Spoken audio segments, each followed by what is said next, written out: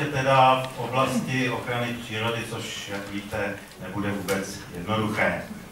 A právě protože to není jednoduché, tak eh, jak už zde náš pan předseda, inženýr Dlouhý řekl, eh, je tady ta otázka taková důležitá, by se dalo říci odborná otázka odborné ochrany přírody a to je kategorizace podle kategorií Mezinárodního svazu ochrany přírody eh, z IUCN. Na to, jak dalece tady tyto kategorie u nás máme ctít a co pod nimi si máme představovat, na to se bohužel názory skutečně velmi liší. Eh, přečetl jsem si například, že se jimi je prostě, že se jimi nemusíme vůbec řídit v praktické ochraně přírody na jedné straně, na druhé straně zase jsou lidé a je tady i představitel tohoto názoru, takže ho potom případně vyzývám, nevím, jestli to bylo jenom kreslení prostě v novinách, nebo takhle to skutečně znělo. A potom jsou tady zase i představitelé druhého náhledu, že teda ty kategorie jsou pro nás, pokud chceme teda spolupracovat se světem, tak jsou pro nás nějakým způsobem taky závazné. K tomu jsme si teda povolali odborníky, kteří se v této problematice dlouhodobě pohybují. Máme zde možnost jednak odborníků našich a jednak bych zde přivítal i pana doktora Hanse Bibelrittera z Bavorska. To je vlastně zakladatel a dlouholetý ředitel Národního parku Bavorský les. Mimochodem tam ty ředitelé mají dlouhou dobu trvání na rozdíl od nás, že? Takže eh, on byl dokonce předsedou Federace evropských parků Europark, byl místopředsedou Evropské sekce Komise národních parků, dneska to WCPA, eh, a řekne nám o zkušenostech z Německa i celé Evropy, ale až posléze nejprve by nám řekl, protože zde máme i pamětníka, který se vlastně po desetiletí věnoval této problematice, je čestným členem IUCN a bývalým viceprezidentem IUCN, pan doktor Jan Čerovský. Takže ten by nám řekl takový ten historický úvod. Potom nám měl pan inženýr Hošek, náměstek ředitele agentury ochrany přírody a krajiny České republiky, který je členem rady IUCN, v současné době měl objasnit účel té kategorizace IUCN a její použití v české ochraně přírody, čili takový ten nej, nejčerstvější pohled, co se týče i té oficiální části. Bohužel mě telefonoval asi před dvěmi hodinami a omluvil se z důvodu nemoci, že prostě ne, nemůže přijít. Nicméně zaskočí ho pan doktor Roth, který dělal vlastně i překladatele té, tého, toho nejnovějšího materiálu, takže nebudeme ochuzeni i o ten nejnovější vývoj v této oblasti. Eh, pana doktora Rota asi všichni většinou znáte, je momentálně konzultant, bývalý ředitel ochrany přírody na ministerstvu životního prostředí, a jistě měl i spousta jiných funkcí, o kterých ani já třeba nevím. Ale takže on nám to řekne jednak z pohledu toho překladatele, ale hlavně taky z pohledu praktika. Čili to bude druhá část, pak bych poprosil teda pana hm, doktora Bibelritera, aby nám řekl teda o těch zkušenostech jejich, zkušenostech vůbec z Německa a i z celé Evropy. Následoval by takový blok už praktický i z naší části a to v první řadě zde chci přivítat pana inženýra Tomáše Rotrekla, ředitele zprávy Národního parku Podijí, čili ten nám řekne k té praktické aplikaci kritérií IUCN, jak to prostě oni eh, dělají u nich v Národním parku a nejenom to, ale řekne i u té situaci u našich sousedů v Rakousku. Potom je přivítat pana inženýra Andreje Hartela, zástupce ředitele Národního parku České Švýcarsko. Ten se bude zase věnovat té aplikaci u nich, v jejich Národním parku České Švýcarsko a taky u našich sousedů, v tom, hlavně v tom Sasku. Případně i dále v Německu to uvidí, jak prostě hm, bude mít čas, protože bohužel je hodně, hodně panelistů, takže máme čas bohužel zúžený. Pak e, bude profesor Martin Braniš, ten přijde později, protože něco teď ještě má, čili zástupce ředitele Ústavu pro životní prostředí z Přírodovědské fakulty Univerzity Karlovy a ten se zamyslí na takové, na to téma kategorizace vůbec velkoplošných chráněných území jako stálý ochranářský koříšek. Potom měl být eh, pan inženýr Tomáš Tesař, eh, toho času náměstek ministra eh, životního prostředí, který měl sdělit stanovisko MŽP ke kategorizaci. Bohužel mě volala paní sekretářka jeho a sdělila mě eh, někdy už dopoledne, že bohužel pan náměstek je povolán k panu ministrovi, takže se nebude moci zúčastnit. Žádal jsem jí, jestli by eh, neoslovili teda paní ředitelku hm, doktorku Opálkovou, které jsem to stejně posílal taky pozvánku a chvála Bohu, že jsem poslal, protože bohužel od pana náměstka to k paní ředitelce nedošlo, takže paní ředitelka je tady trošku zaskočená, ale přesto ji poprosím, aby nám prostě řekla aspoň pár slov k tomu stanovisku ministerstva. A následovat potom jako vlastně už poslední bude pan doktor Jaromír Bláha z Hnutí Duha, jejich eh, vedoucí jejich lesní kampaně, eh, který objasní, proč a jak sladit kategorizaci chráněných území v České republice se systémem IUCN, jak to teda on nebo jeho hnutí vidí. Takže jak vidíte, máme zde zástupce všech pokud možno teda ze všech možných úhlů pohledu, takže věřím, že to bude zajímavé. A já bych poprosil teda našeho prvního eh, řečníka, prvního panelistu, pana doktora Čehovského, aby se ujal slova. Eh, poprosím všechny panelisty skutečně dodržovat těch 10 minut, abychom prostě stihli potom i následnou diskuzi. Pro ty, kteří z vás nevědí, jakým způsobem to děláme, děláme to obvykle tak, že nejprve je úvodní panel, každý panelista řekne do 10 minut svůj náhled, poté je diskuze mezi panelisty, krátká a následuje potom diskuze i z pléna.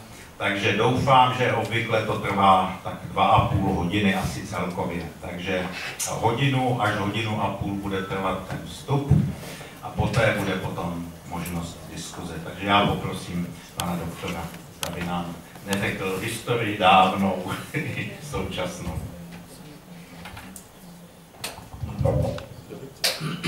Dámy a pánové, děkuji představitelům STUŽ a pořadatelům dnešního semináře na jejich pozvání. Mým úkolem je co nejstručnější úvod do projednávané problematiky. Nejvýznamnější mezinárodní autoritou v oblasti ochrany přírody se během doby stala IUCN, Mezinárodní unie pro ochranu přírody a přírodních zdrojů, založená v roce 1948. Dnes má na 1200 členských organizací ve 160 zemích světa. Česká republika se jí práce účastní od roku 1958. V roce 2000 se dokonce stala jedním z jejich 91 členských států. Možná nejvýznamnější místo mezi šesti tematickými komisemi eh, a odbornými orgány IUCN zaujímá Komise pro chráněná území, dnešní WCPA, World Commission on Protected Areas. Chráněná území jsou právem považována za vrchol ochranářské pyramidy. IUCN je definuje takto.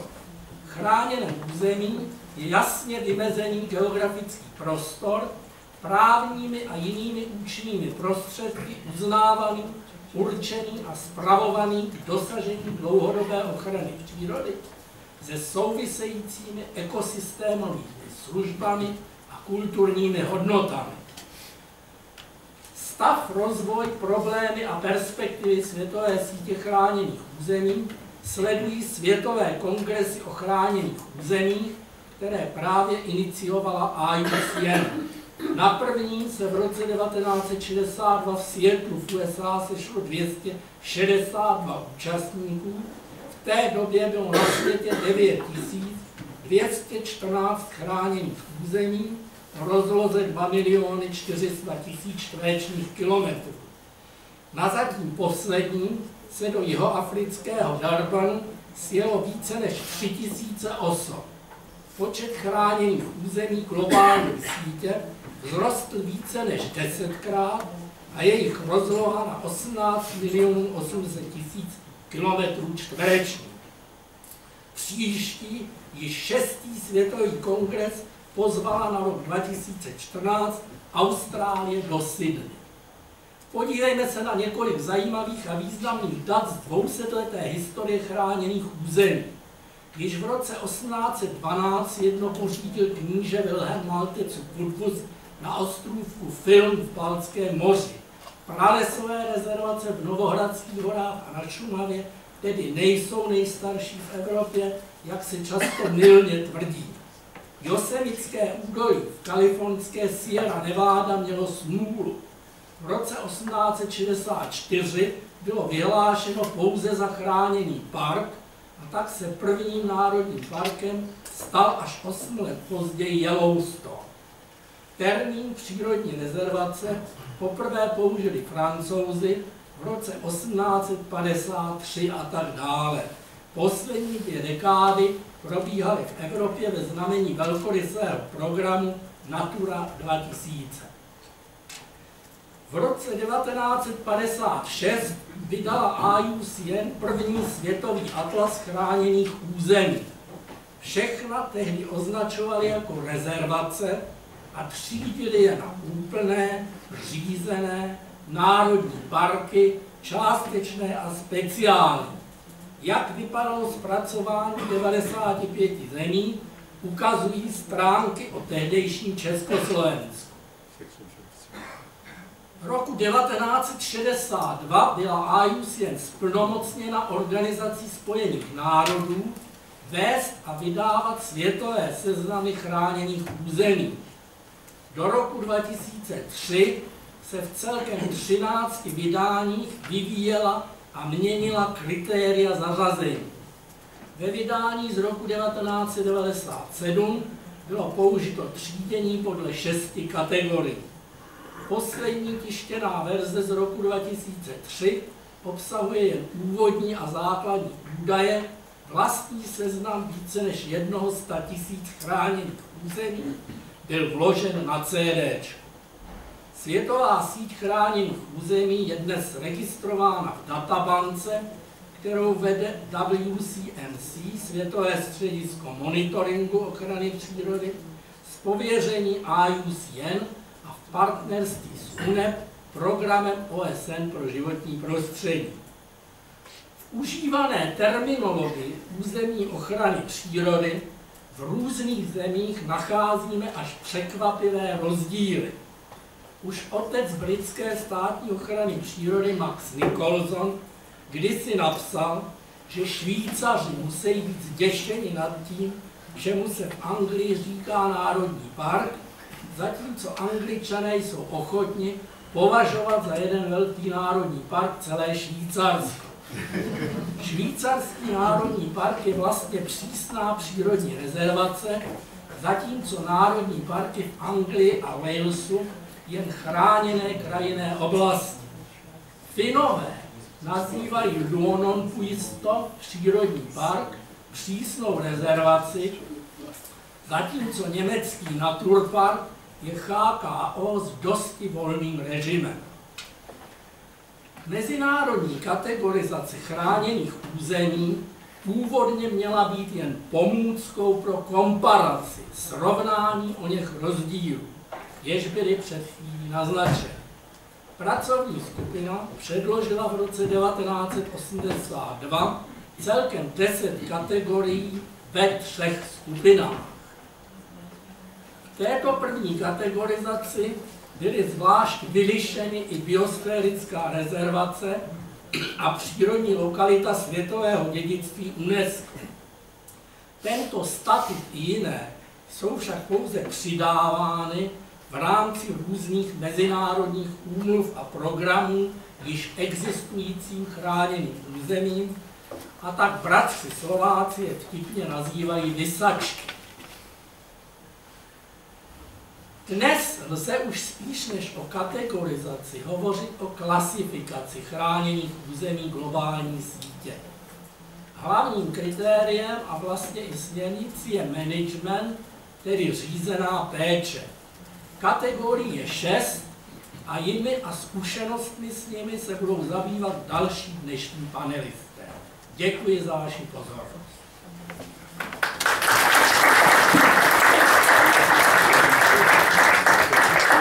Děkuji panu Čechovskému, dokonce on to měl tak vzorně připravené, že nevyčerpal ani 10 minut, ale asi jenom 9 minut.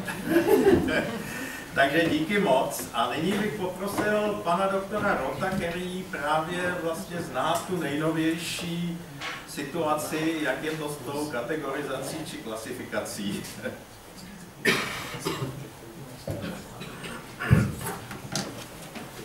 Děkuji. Dobrý den, dámy a pánové.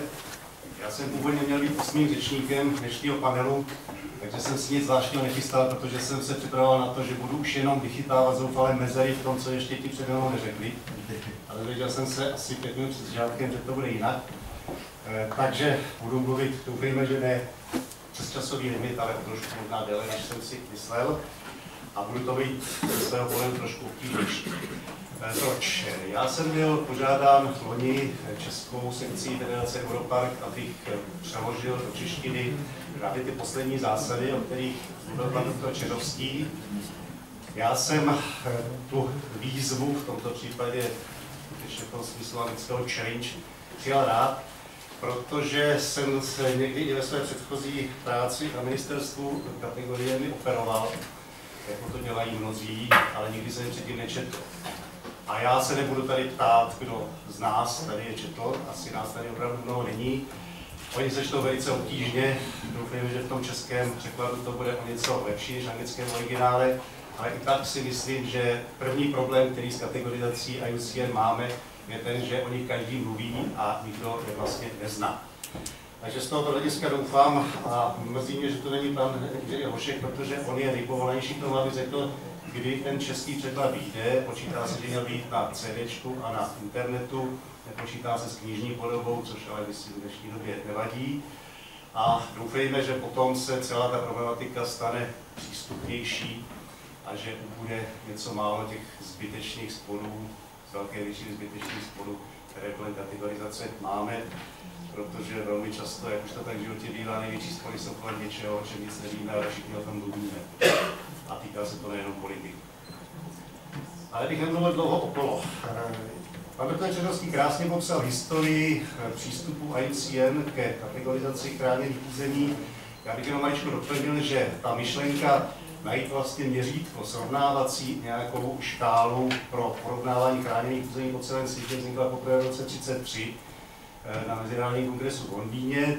A když byl potom v roce 1948 založen eh, IUCN Světový svaz ochrany přírody, tak jako tehdy vlastně jediná organizace tohoto typu, se logicky ujal tohoto úkolu a dovedl to až k tomu konci, ale není to konec ve smyslu fatální, jak to řekněme, zatím ten poslední mezní vývoje, k té, poslední verzi kategorií eh, chráněných území IUCN, které tedy budeme mít možnost přečíst v češtině. Eh, základní myšlenka, která se vlastně táhne od těch 30. let, je najít možnost, jak porovnávat zdánlivě neporovnatelné. To jsou ty nejrůznější typy chráněných území po celém světě. Poslední kategorie, poslední příručka kategorii šla ještě něco dál, podobně jako ta předposlední z roku 94. Protože my se musíme na problém chráněných území dívat globálně a tam ten problém vypadá úplně jinak, než jak se díváme v České republice nebo v Evropě. Základním problémem ve světě je, co je to vlastně chráněné území. Pan Čerovský citoval definici, nám to může připadat banální, myslím, že mnozí z nás jsme se nikdy nezamýšleli na tom, proč bychom si měli definovat, co je chráněné. My to máme v zákoně od roku 56, v různých zákonech od roku 56, je to přece úplně jasné. Zdaleka tak jasné to není. Existují tisíce, možná i větší řády tisíců území na celém světě, která jsou vydávána za chráněná a nenaplňují tu základní definici IUCN, které se došlo koncenzuálním způsobem na řadě mezinárodních jednání.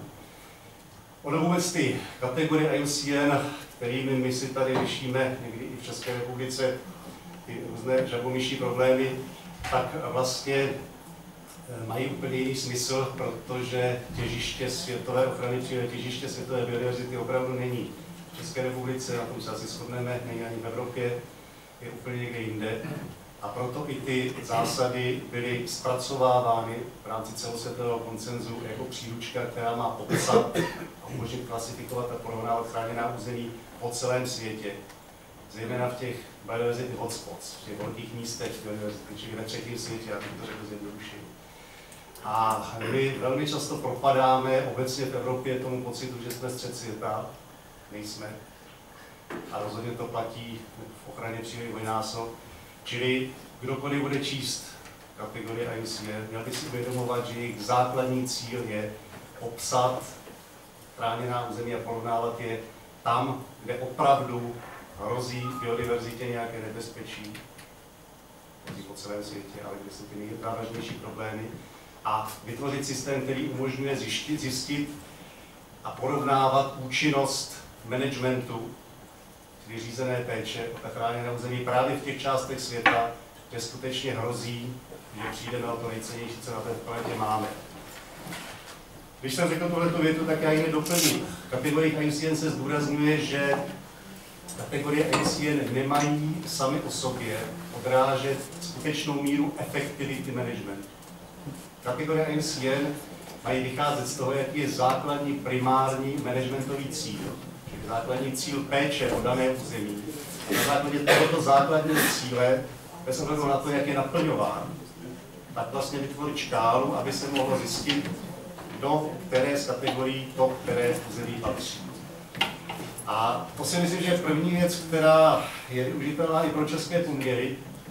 Já za okamžik řeknu, čemu jsou použitelné kategorie českých poměry podle mého názoru, takové mé zkušenosti, ale ta první věc je stanovit si primární managementový cíl každého chráněného území může mnohým z vás vypadat naprosto samozřejmé, ale pokud se nad tím zamyslíme hlouběji, tak máme mnoho desítek, ne stovek zvláště chráněných území, kde nevíme, jaký je managementový cíl. My jsme poměrně dobří, někdy až dokonalí v těch formálních náležitostech. Máme všude cedule se státními znaky, teď už i s nějakými hvězdičkami, Máme takové plány péče, což zdaleka není eh, běžné ve světě. Máme všude zřizovací výnosy, když několik desítek je sporných ze 30. let a podobně. Ale velmi často nevíme, proč jsme vlastně tak teda území vyhlásili, jaký je cíl managementu a tudíž bychom je velice těžko zarazovali do kategorii ICN, protože ty jsou právě na tom založeny. Že známe primární cíl, nemůžeme vůbec říct, do jaké kategorie má území patřit. Já nebudu hovořit o eh, těch kategoriích jednotlivých, protože to nemá smysl, vy nemáte před sebou. Myslím si skutečně, že pokud ne většina, tak mnozí jste je nečetli a eh, není cílem tohoto semináře vykládat tady detaily z hlediska primárních a sekundárních cílů managementu a z hlediska zprávy governance, což je další důležitý aspekt, který ty zásady zdůrazňují. A zase pro nás to připadá naprosto samozřejmé, protože my pro každé zvláště chráněné území České republice máme jasně určeného správce, nějaký orgán veřejné zprávy, případně vlastní zprávu. Když bychom se podívali třeba na Balkán, tak to zdaleka tak jasné není. A když bychom se podívali po světě, tak zjistíme, že velké množství, možná převažující množství těch nejcennějších území žádnou zprávu nemá a bez dobré zprávy nemůže být efektivní management a bez efektivního managementu vlastně ta území velké části nemají smysl.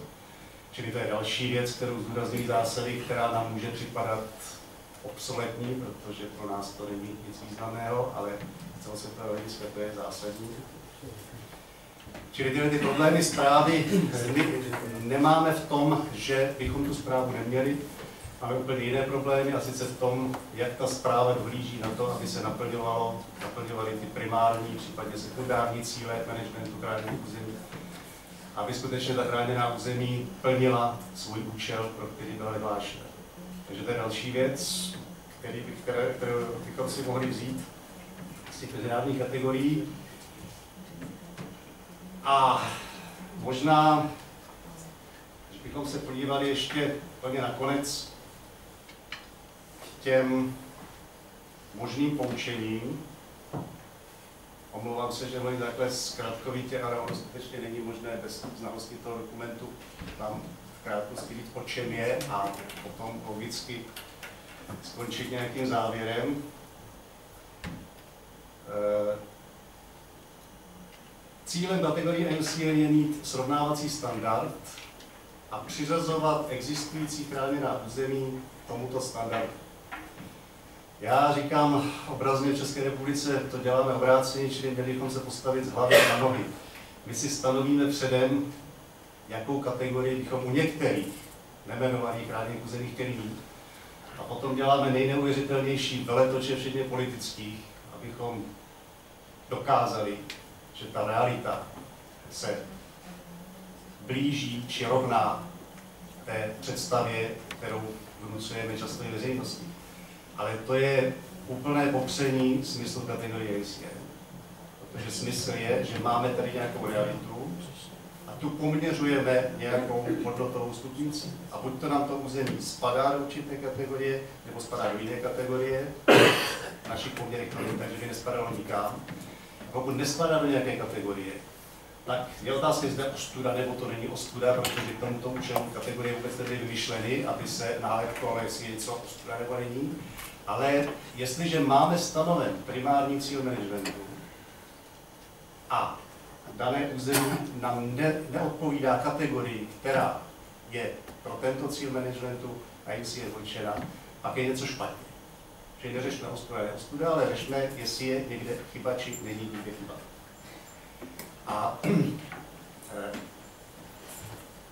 úplně na závěr, eh, tady padla už v tom úvodu otázka, jestli kategorie jestli jsou u nás závazné, nejsou závazné. Z hlediska právního je to zcela jednoznačně, legislativního závazné nejsou, nikdy nebyly závazné nikdy nebudou, protože to je další věc, kterou kategorie MCN zdůrazňují, že není jejich cílem ze závaznit i když MCN vítá, když to nejvíce států přijímá kategorizaci, ale není to povinné. Nicméně důležité je, k čemu, pokud vůbec, je budeme používat. V českých poměrech, teď vyslovuji svůj názor, si myslím, nemá smysl kategorizace IUCN používat pro maloplošná zvláště chráněné území, když i tam velice často ten primární cíl managementu neznáme. A to je spíš otázka našich národních problémů. U velkoplošných zvláště chráněných území tam jednoznačně používání kategorizace IUCN jako toho srovnávacího standardu má smysl, protože vidíme, jak na tom jsme. A protože u těch velkoplošných ZKU bychom měli vždycky ty primární cíle mít stanoveny, mimo jiné, protože to požaduje náš zákon, tak tam by opravdu nám to srovnávání s kategorizací IUCN mělo ukázat, jestli někde děláme či neděláme. Já doufám, že český překlad těch eh, kategorií pomůže k tomu, aby se tyhle ty věci aspoň trošku vyjasnily a aby se přestalo některých zvlášť vyhrocených případech s tou manipulací s kategoriemi. Možná, když si budeme moct všichni přečíst, o čem vlastně ta průžura je, tak to možná přispěje k tomu, že těch manipulací bude méně. A opravdu si myslím a apeluji na současnou ochranu přírody státní, aby se skutečně snažila zaměřit se na ty primární cíle managementu, jejich definování a jejich dlouhodobé dodržování, protože primární cíl managementu je jeden a nemůže se měnit průběhu každý dva půl roku. Děkuji za pozornost.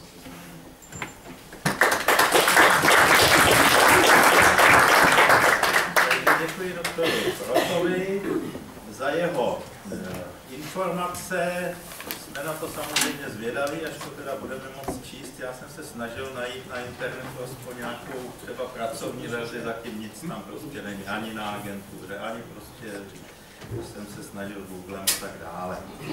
Eh, a teď je mou milou ctí pozvat pana doktora Hanse Bibelrittera, z Bavorského vlastně zakladatele a dlouholetého ředitele Bavorského národního parku, který nám řekne o tom vlastně, jakým způsobem i oni k tomu přistupovali a podobně. Bude to si myslím velmi zajímavý náhled, velmi jaksi porovnání toho, protože vlastně je to z druhé strany Šumavy. Eh, takže hm, Dr. Bibelreader, welcome here and I would like uh, to invite you or here, you can, you, you will be here and you will have translation. Thank you, Floris.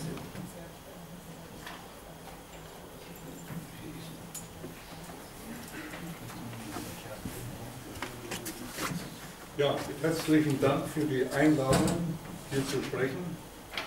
Ich spreche über die IUCN-Kategorie und ihre Anwendung in Deutschland.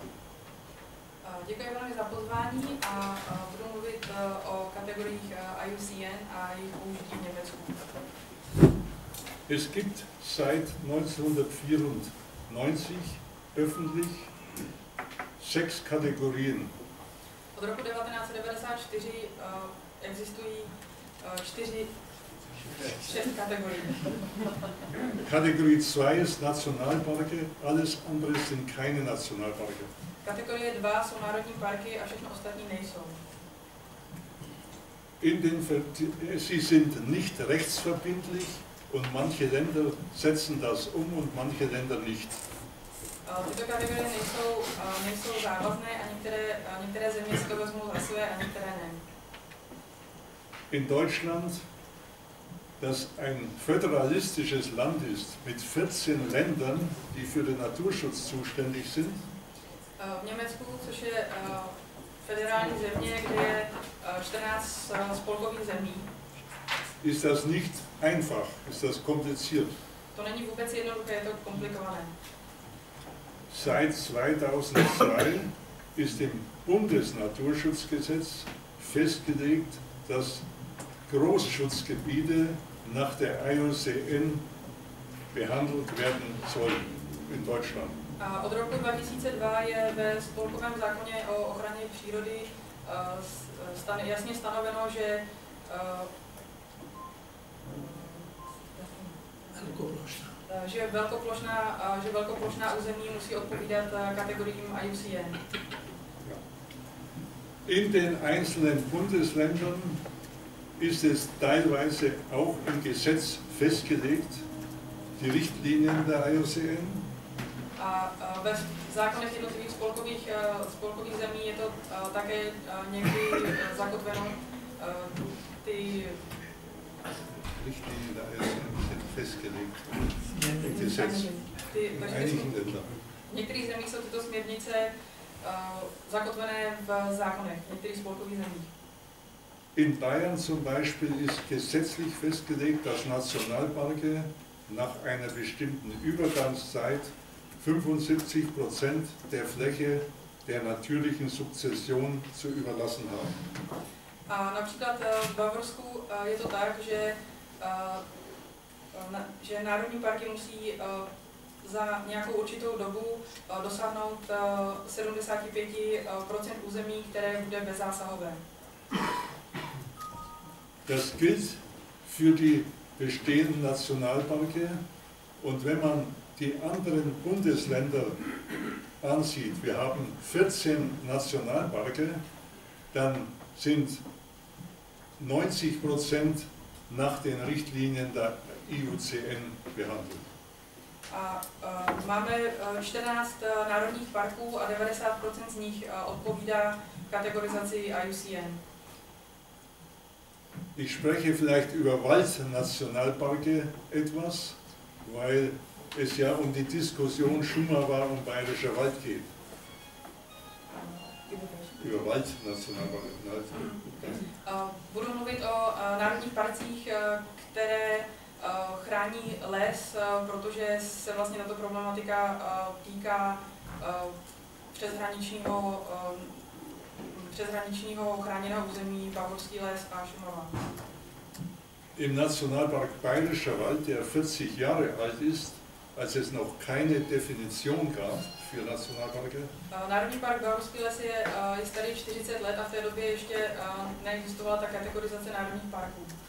Sind auf der Hälfte der Fläche, die 1970 als Nationalpark gegründet wurde, über 75 Prozent außer Management. A v roce 1970, kdy byla vlastně vyhlášena stará část Národního parku, tak teď je tam už dosaženo těch 75% bezzásahovosti. 1997 wurde der Nationalpark Bayerischer Wald erweitert. A v roce 1997 byl, uh, Bavorský park, uh, byl Národní park Bavorský les rozšířen. Um 11.000 Hektar. O 11 000 hektarů. Und es wurde festgelegt, dass bis 2027 auch dort 75 Prozent außer Management kommen müssen. A i v této nové části bylo určeno, že do roku 1920, eh, do roku 27 eh, bude i v této nové části 75 eh, plochy bezzásahové. Leider ist die Entwicklung im Erweiterungsgebiet bis jetzt noch immer nicht sehr positiv. Bohužel v této nové části ten vývoj ještě není až tak pozitivní. Ein Problem, das in Deutschland in Waldnationalparken generell ist. Förster sind gegen Nationalparke und Holzunternehmer auch. Problém, který je v Německu, je v tom, že, že lesníci a zaměstnavatelé v lesním průmyslu jsou proti národním parkům. Die, der Nationalpark Berchtesgaden, der zweitälteste, druhý nejstarší uh, národní park uh, hat, Berchtesgaden. Ja, hat 72% Naturfläche. Jetzt schon. 72 Aha. Má uh, 72 plochy bezzásahové. In, Im Harz in Niedersachsen sind es ungefähr 60 Prozent. Ich will es nicht im Detail vortragen, aber sie sind alle auf dem Weg, mindestens 75 Prozent als Naturfläche zu bekommen. Další příklad eh, v Harz eh, v Dolním Sasku je 60% eh, a nebudu vyjmenovávat všechny, všechny parky, ale jenom jako ukázka toho, že jakým směrem ty parky směřují. Es ist zum Beispiel im Nationalpark Hainich bereits 80 Prozent. Ja, das ist in Thüringen. v Národním parku Hajných v Thüringen je dokonce 80% bezzásahových. Die Nationalparke sind in Deutschland von der Bevölkerung voll anerkannt. A národní parky jsou jako veřejností přijaté, naprosto přijaté. 70% der Deutschen wollen weitere Nationalparke. A 75 eh, Němců chce další národní parky. Und es ist zurzeit Diskussion um den Nationalpark Schwarzwald. A momentálně se diskutuje o národním parku Schwarzwald. Auch Teutoburger Wald, also es sind verschiedene, sie werden kommen. A uh, i další národní parky, o kterých se diskutuje, že by se vyhlásili a že to přijde.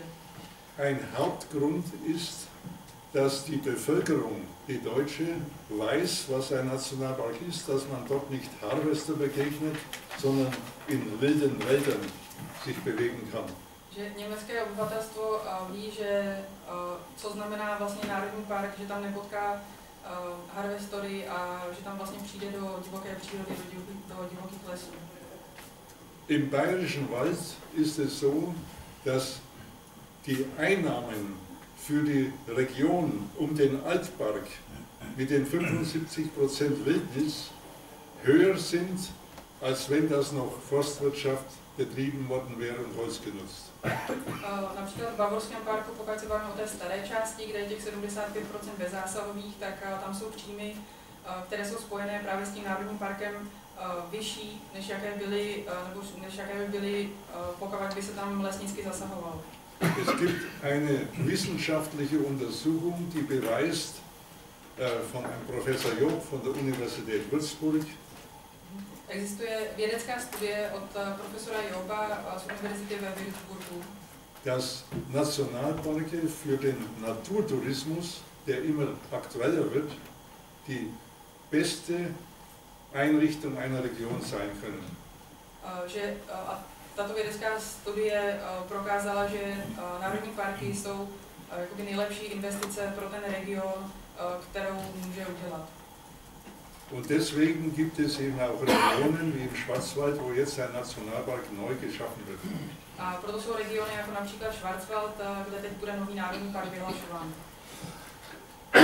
Gegner der Nationalparke sind immer lokale äh, Gruppen, die geprägt werden von Förstern, von Holzindustrie und so weiter, die wollen das nicht. Aber die Gesamtbevölkerung in Deutschland möchte über 70 echte Leiter nacionalparky.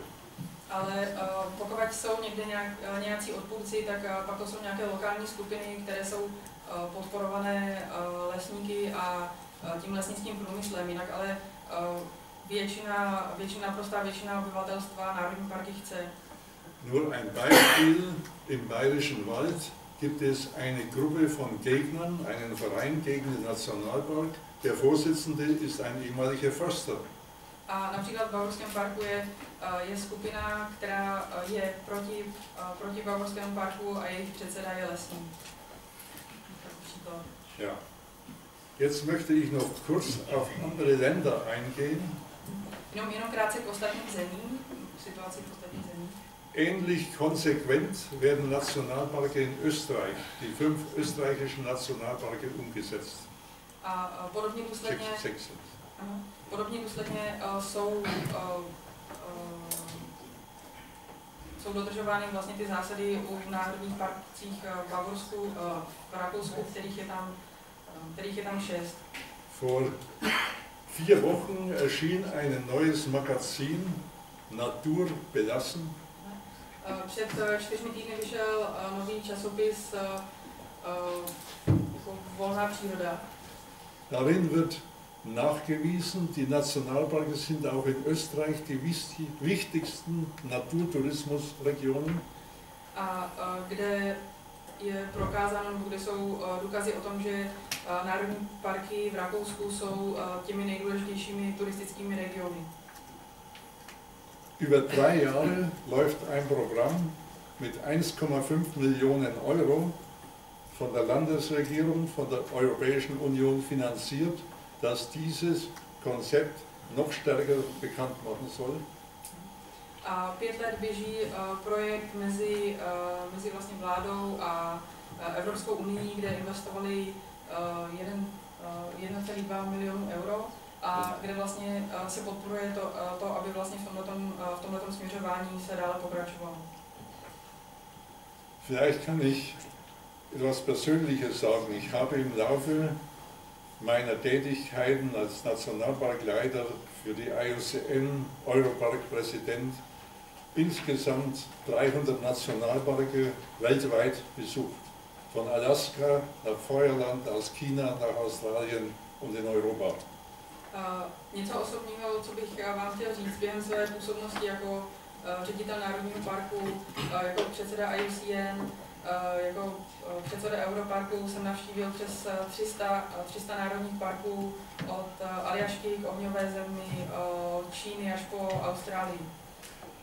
Und ich kann nur aus der Erfahrung sagen, dass Nationalparke wirklich weltweit gilt das für Regionen, die am Rand liegen, nicht in den Ballungszonen, am Rand ein ganz wichtiges Element sind für eine positive regionale Zukunft.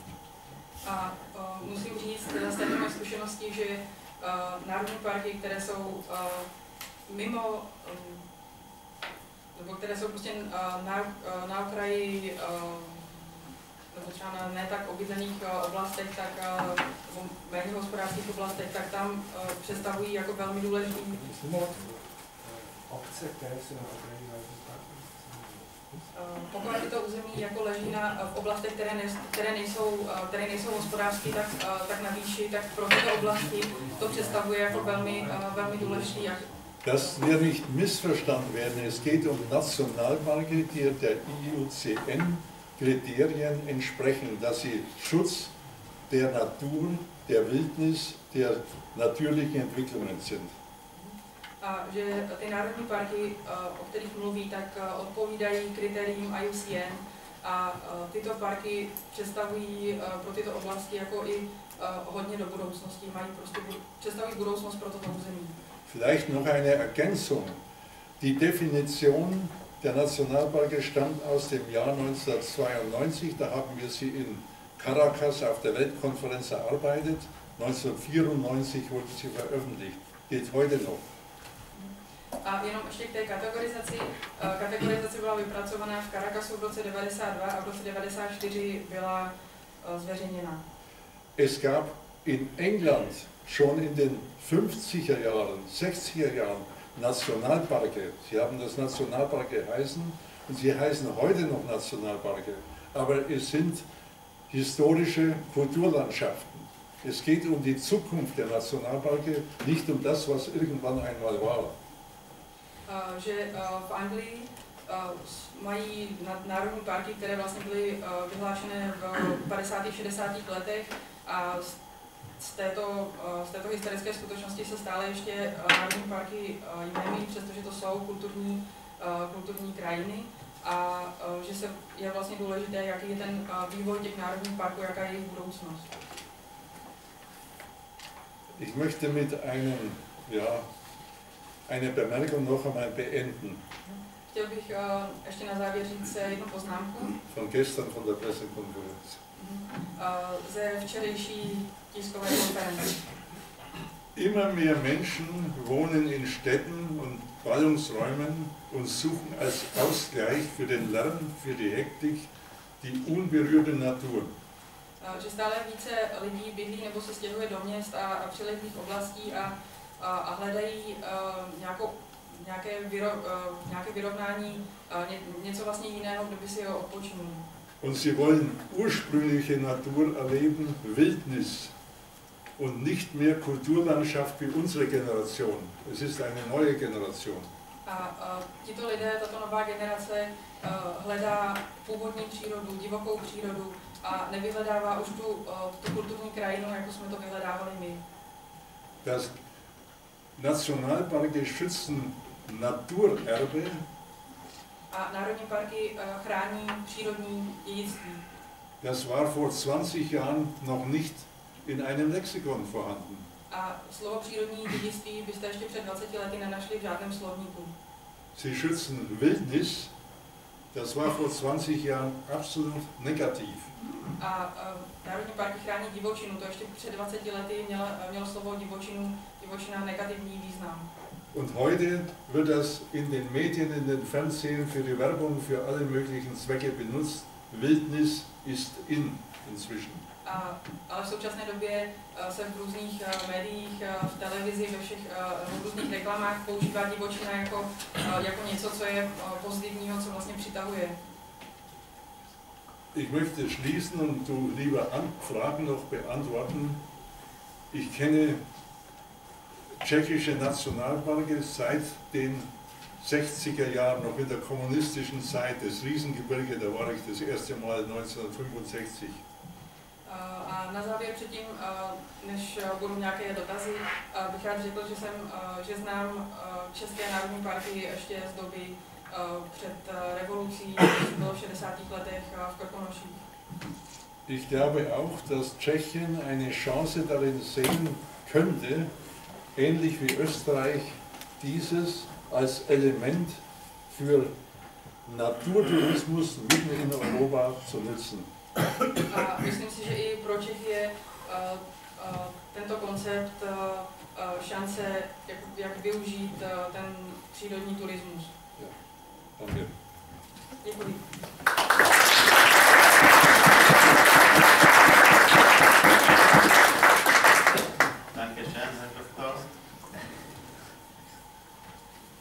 Takže budeme pokračovat. Já myslím, že nedáme hned diskuzi, protože vás jistě bude spousta věcí ještě zajímat i z tohoto a z těch předchozích řečníků, ale dáme potom až tu diskuzi, jak jsem předeslal na začátku, jo? až následně nejdřív teda mezi panelisty a potom bude i z pléna. Takže teďko bych poprosil pana ředitele zprávy Národního parku Podyjí, aby nám sdělil, jak to vypadá u nich. Že vážil dlouhou cestu, tak za to také děkuji velmi.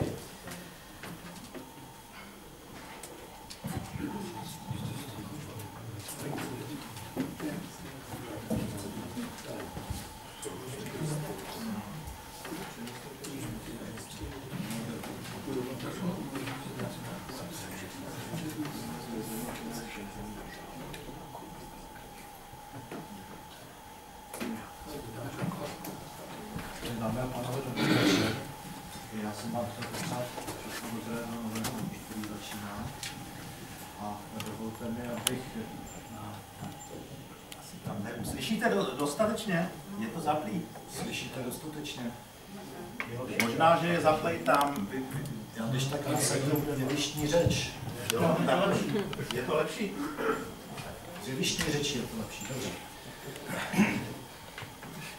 Eh, Budu pokračovat, když eh, trošku z jiného eh, pohledu. Eh, Berte ten můj příspěvek jako ohlédnutí, řekněme, praktika, který se věnuje ochraně přírody v jednom z našich národních parků už více než 20 let a samozřejmě ta, to ohlédnutí bude vstaženo k tomu dnešnímu tématu ať vás nemáte ten název biodiverzita v kontextu divočiny, ten slide jsem zcizil s vědomím teda autora kolegovi Škorpíkovi, který měl přednášku, která taky trošku souvisí s tím, co, o čem se dneska bavíme. A mně se ten název líbil a veřejnost je potřeba na, tu, na to slovo divočina v tom, myslím, významu, který má zvykat. Tak. Asi není potřeba eh, zde eh, v rámci tohoto auditoria eh, ukazovat mapku našich národních parků. Vidíte, že na jihu se krčí maličký národní park Podí se svým rakouským sousedem, který je ještě menší. A nahoře se krčí České Švýcarsko se svým německým sousedem, tam to mají obdobné. Já jsem rád, že pořadatelé pozvali tentokrát, nebývá tomu zvykem, zástupce lovů našich nejmenších národních parků, zatímco takzvané velkoparky ostrouhané. tak, eh, základní údaje k Národnímu parku Podí, ne všichni asi eh, ty čísla nějak eh, jste registrovali a ne všichni znáte tvar toho území, tak prosvištíme základní údaje.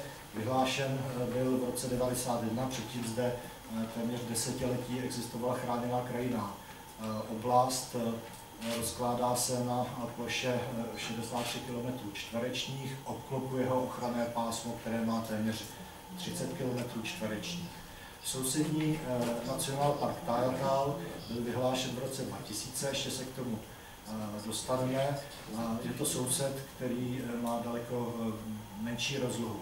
Na mapce vidíte, že se jedná o ochranu území, jehož eh, symbolickou osou, když klikatící se je řeka, řeka Věč, je to říční údolí eh, v lesním komplexu. Pokud jde o další eh, souvislosti, řekněme, mezinárodní ochrany, tak Podí jako ptačí oblast byl vyhlášen v roce 2004 na obdobné rozloze jako vlastní národní park a v roce 2005 evropský významná lokalita eh, stejného, eh, stejného jména.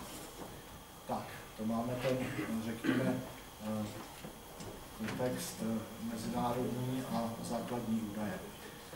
Jaké byly zásady a východiska při přípravě Národního parku Podíky a rozjíždění, řekněme, jeho ochranářského provozu? Samozřejmě to byl tehdejší zákon číslo 40 roku 56 sbírky ochrany přírody a krajiny, eh, který obsahoval takovou velice primitivní definici eh, eh, Národního parku. Sám zákon je velice legrační z toho pohledu, když ho porovnáte s dnešním zákonem číslo 114, tak eh, ta 40 má myslím 4 strany textu. Dále to bylo nařízení vlády, to už byl ten dokument, který vláda vyhlásila, eh, zřídila Národní park Podyje jeho ochranné pásmo, zde je pochopitelně také definice a je zde formulováno jeho jasné eh, poslání. Vidíte za chvíli, že už eh, tam nějakým způsobem tyto předpisy a podobně, to bylo myslím i v Krkonoších, reflektují, reflektují ty definice, řekněme, mezinárodně uznávané. A to je onen zdroj, který je tam na tom třetím místě, eh, čili definice Národního parku eh, z generálního schromáždění IUCN v dílí z roku 69. Eh, a tady je potřeba také říct, že ten dokument i vyzývá vlády, aby v jisté míry ctili, či jak to říct, onu, onu kategorizaci z těch důvodů, které uváděli tady předřečníci. A e, nepochybně to byla i, e, i další dokument závěru světové konference o národních parcích Yellowstone v roce 72. Obsahuje obdobnou definici, ale zavádí poprvé takovou jako úvahu nebo doporučení užívat diferencovaný systém péče o to chráněné území, jakousi zonaci, řekněme. I zásady té zonace byly promítnuty do tehdejších vládních nařízení. Tady máme definici toho zmíněného poslání eh, Národního parku, já ji tady nebudu číst. Důležité je, že eh, obsahuje v podstatě to, co obsahuje i eh, následující, řekněme, právní norma, zákon číslo 114 o ochraně přírody a krajiny. Dá se říct, že do jisté míry reflektuje tu definici kategorie Národního parku, to znamená kategorie římská 2 ve smyslu IUCN. Eh, plán péče o Národní park Podí eh, byl schválen ministerstvem životního prostředí v roce 1994. Eh, vyráběl se dva roky a mm, opět do tohoto základního dokumentu se dostaly takové ty základní, řekněme, cíle a principy, které vyplývaly z těch mezinárodních pohledů na tu příslušnou kategorii, čili podpora základních ekologických eh, procesů, ale i ochrana genetické, biologické diverzity a eh, další. Eh, teď bych se měl dostat krátce k té spolupráci s Rakouskem. Národní park Tajatal vznikal celé desetiletí, byl vyhlášen v roce 2000 a důležité je říct, že rok předtím podepsali ministři životního prostředí obou států eh, deklaraci o spolupráci při ochraně obou národních parků, čili to je taková ta mezinárodní eh, smluvní, eh, smluvní báze. Následovaly samozřejmě i takové praktické smlouvy, tím vás nebudu zatěžovat. Možná, co je důležité říct, že ta smlouva o společných zásadách východiscích managementu eh, pro nás je, eh, pro obě strany je dost nosná právě proto, že se zase zde potkáváme v, těch, eh, tom základě, na které můžeme stavět nějakou konkrétní spolupráci v, v té ochranářské praxi. Co je důležité zmínit, že zákon o národních parcích Dolního Rakouska, to už tady říkal pan doktor Filip, obsahuje Eh, obsahuje ustanovení eh, vlastně ve své preambuli, se dá říct, to je jako hlavní cíl na prvním místě, je řečeno, že má být zohledňována směrnice Světové unie ochrany přírody UCN eh, pro národní parky. Takže samozřejmě těch cílů je tam víc, mimo jiné taky podpora koordinované spolupráce se sousedy, to jsme my, ale toto je na prvním místě v jejich právní normě. Tak, a Rakušané, když získali ten certifikát eh, té kategorie 2, tak neponechali nic náhodě a na mostě eh, přes dělali velkolepou slavnost, kde všechny děti, nevím proč, byly oblečeny v červené barvě. Celý most byl obalen červeným suknem. Když nám to říkali, tak já jsem jim říkal, prosím vás, 690, 2001, pardon, to mám. Naše lidi nemají rádi tuto barvu nicméně se to konalo v té červené, nevím proč. Tak,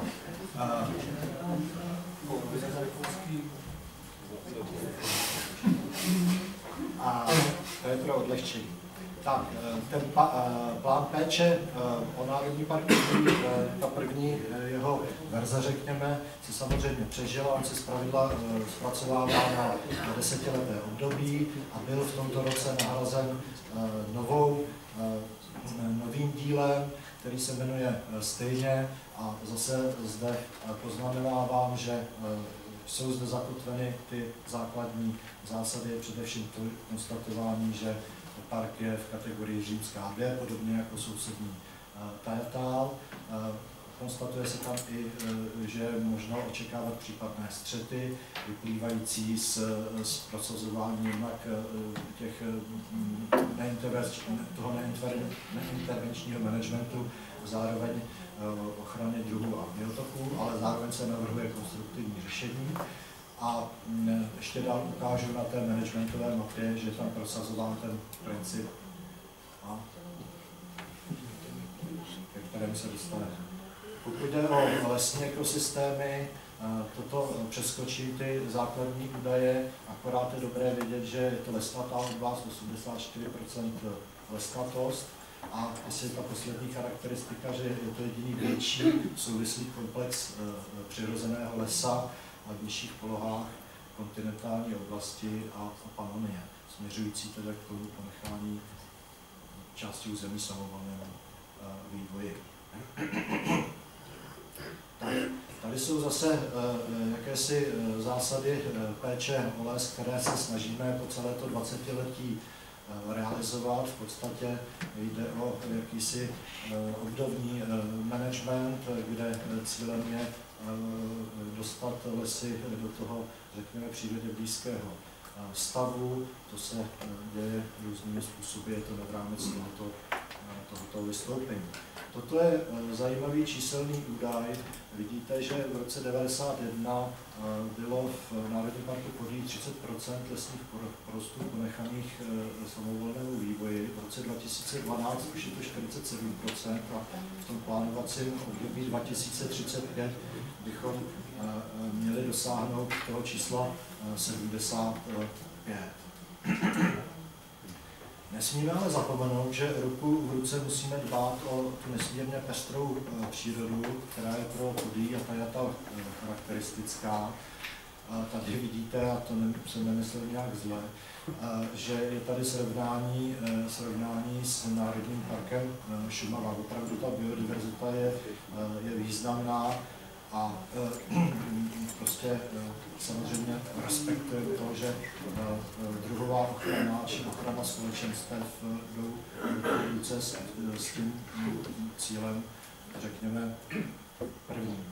Prostě se to nedá, nedá oddělit. Na základě této, této úvahy jsme se stanovili pro toto plánovací období Eh, takovouhle managementovou kategorizaci, neříkáme tomu na zonaci, aby jsme nemátli, kde vidíte eh, tu zelenou plochu, což je, eh, dejme tomu, plocha lesa, kde se nezasahuje nebo se zasahuje jenom jednorázově.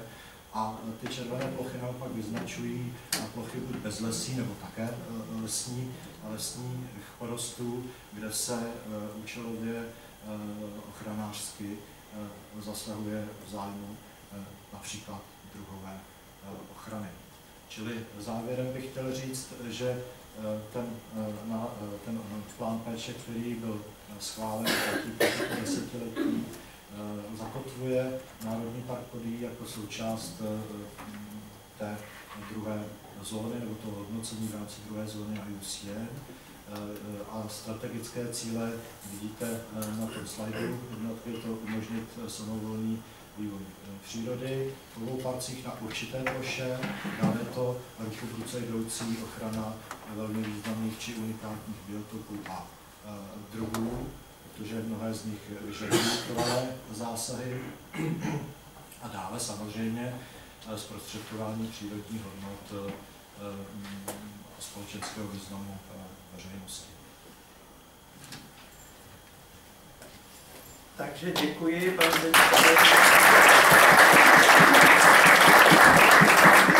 pro některé z vás je to překvapení, zvláště ve smyslu těch jiných diskuzí ohledně druhé kategorie a podobně. Já můžu potvrdit, že tam skutečně takovýmto způsobem provádějí management. Měl jsem možnost se tam podívat, provedli nás, stojí to teda za to, je to velmi jinak bohaté území, samozřejmě v Panonské oblasti, že, čili něco zase se těžko porovnává, že něco jiného. Takže bych poprosil nyní ten druhý náš národní park, zkušenosti bych poprosil Eh, pana inženýra Andreje Hachtela, který tam dělá zástupce ředitele, aby nám řekl o tom, jak to dělají tam, protože tam vlastně oni taky směřují. Dobrý večer, děkuji za slovo. Já se omlouvám za svůj podlomený hlas, který možná souvisí s tím, že nemocný a zde omluvený kolega Hošek byl u nás v na návštěvě. A já bych si dovolil předtím, než budu mluvit konkrétně k našemu území, říct takový určitý úvod. Jak už tady zaznělo, eh, u té kategorizace IUCN za, poslední, za poslední období pozvat určitý posun od toho původního účelu, kterým bylo skutečně srovnávání různých chráněných území, eh, protože pod stejnými názvy se může často eh, schovávat různý obsah, takže třeba v těch předchozích guidelines byly příklady různých kategorií IUCN, tak právě třeba pro kategorii 5, což je chráněná krajina, byla schválně vybrán, nebyla nějaká chráněná krajina oblast, ale schválně vybrán Národní park v Anglii, aby se ukázalo, že právě národní parky podle národní legislativy nemusí být vůbec národní parky ve smyslu mezinárodní kategorizace. A ten posun určitý je vlastně k tomu, že dnes ta, ta kategorizace často je mm, vnímána jako spíše určitý prestižní label, přistupuje i možnost certifikace, například mít certifikát od IUCN, že váš národní park skutečně eh, splňuje ta kritéria IUCN čínská 2. S, tímto celé, z toho celého se stává trošku eh, politikum, což eh, souvisí i s tím, že po těch nových guidelines ten, kdo určuje kategorii, je daný stát, nikoli IUCN. A samozřejmě ty problémy nebo ty diskuze, které jsou z těch šesti kategorií, jsou v podstatě pouze u té kategorie dvě národní park už má ten logický důvod, který spočívá v tom, že eh, byl tady prostě vybrán, vybráno jméno nebo název kategorie, která má možná i trochu emocionální obsah, kdyby se ta kategorie 2 jmenovala nějak e, suše, třeba území určené pro přírodní procesy, ale tím, že byl vybrán název Národní park, tak se tady zjevně ukázala určitá dichotomie, dvojí chápání těch národních parků, jednak teda ve smyslu té managementové kategorie, tak jak přišlo k nám vlastně z těch Spojených států, ale zároveň prostě národní parky často těmi státy vnímá jako značka chráněného území, které chrání to nejcennější, co ten daný stát má. A pokud ten daný stát má to, co odpovídá právě těm, těm přirozeným územím nebo té divočině, tak je to není problém, ale pokud ten daný stát to nemá, tak prostě nazývá národním parkem to, to nejpřírodnější, co má, což právě v případě Anglie třeba nejsou vůbec e, národní parky ve smyslu mezinárodní kategorizace. Trochu to dokresluje tohleto schéma, kde vlastně je srovnáno zastoupení jednotlivých kategorií vlevo v Evropě a vpravo ve světě, kde je vidět, že eh, v Evropě významně převažují kategorie 5, tedy chráněná krajina třeba nad kategorií 2, národní park, kdežto na světové úrovni zabírá větší rozlohy národní parky než kulturní krajiny. Na této mapce chci ukázat, že to, že nějaké území je přizazeno k nějaké kategorii, ještě vlastně nemusí nic vypovídat o skutečném reálném managementu.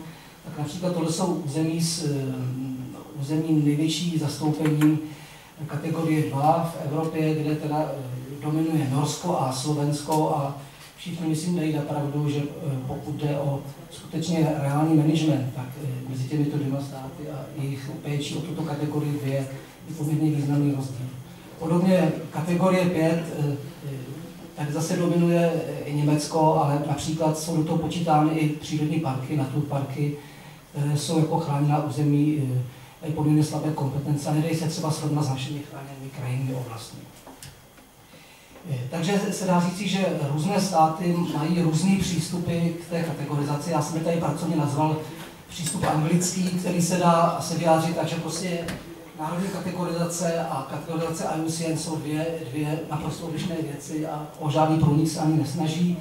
Německý přístup, kde samozřejmě e, jsme to zprávě před chvilkou slyšeli, kde například těch národních parků je skutečně snaha, aby odpovídali té mezinárodní kategorizaci a konečně přístup gruzínský, který jsem tady nazval na základě eh, zkušeností, které mi právě řekl kolega Hošek, kde vlastně teďka vytvářejí nový systém chránění území a kde je vlastně tendence naprosto převzít ten systém těch kategorií IUCN. To znamená, to je to maximální možné stotožnění s tou kategorizací IUCN.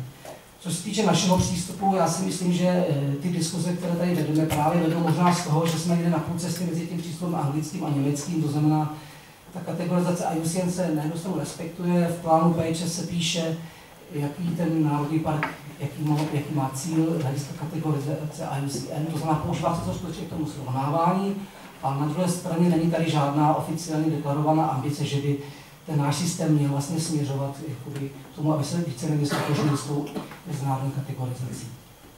To má svoje důvody. V případě národních parků samozřejmě ten důvod je ten, že ty národní parky vznikaly historicky velice odlišných obdobích, takže vznikaly od období, kdy ještě žádné IUCN kategorie nebyly, vznikaly před zákonem 114, po zákonu 114 a výsledek je ten, a je vidět dobře na těch kategoriích IUCN, že vlastně naše národní parky lze předělit různým kategoriím, případně jsou kolem toho poměrně složité diskuze, jak to vlastně mělo být. Nyní k těm zkušenostem z našeho regionu, z Českosaského Švýcarska. My jsme tuto kategorizaci nebo ten princip celkem jednoznačně převzali do našeho plánu péče, takže v obecné části plánu péče máme eh, v kapitole cíle ochrany přírody jednoznačně deklarováno, že strategickým cílem ochrany národního parku je dosažení a certifikace národního parku dle kategorie 2 podle eh, kategorii Světového eh, svazu ochrany přírody IUCN a přejímáme vlastně i ty principy tohoto chráněného území jako základní principy péče nebo ochrany našeho národního parku. V loňském roce jsme obdrželi certifikát Federace Europark pro dobrou bilaterální spolupráci mezi Českým a Saským Švýcarskem s rukou prezidenta Europarku Tomáse Hansona, ten pán uprostřed. A důvodem, proč jsme to získali, bylo mimo jiné i to, že máme eh, společné vize, společné strategické dokumenty se Saským Švýcarskem a máme třeba společnou vizi ochrany přírody oba národní parky a jedna z těch eh, částí nebo pasáží v té vizi je například, že více než 75% rozlohy chráněného území v každém z národních parků podléhá přirozenému vývoji. Jako cílový stav není myšleno jako vize do budoucnosti. Podobně v našem společném střednědobém eh, strategickém eh, materiálu, který máme společně s Národním parkem Saském Švýcarsko, zase mezi těmi východisky, ze kterých tento materiál vychází, se uvádějí i směrnice IUCN pro kategorii Římská 2.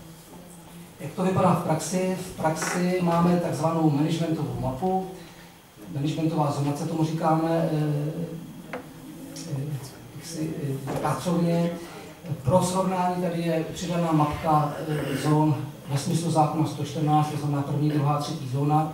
V našem plánu péče jsme, jsme se snažili tyto dvě věci striktně od sebe oddělit, to znamená zonace dle zákona a zonace dle managementu.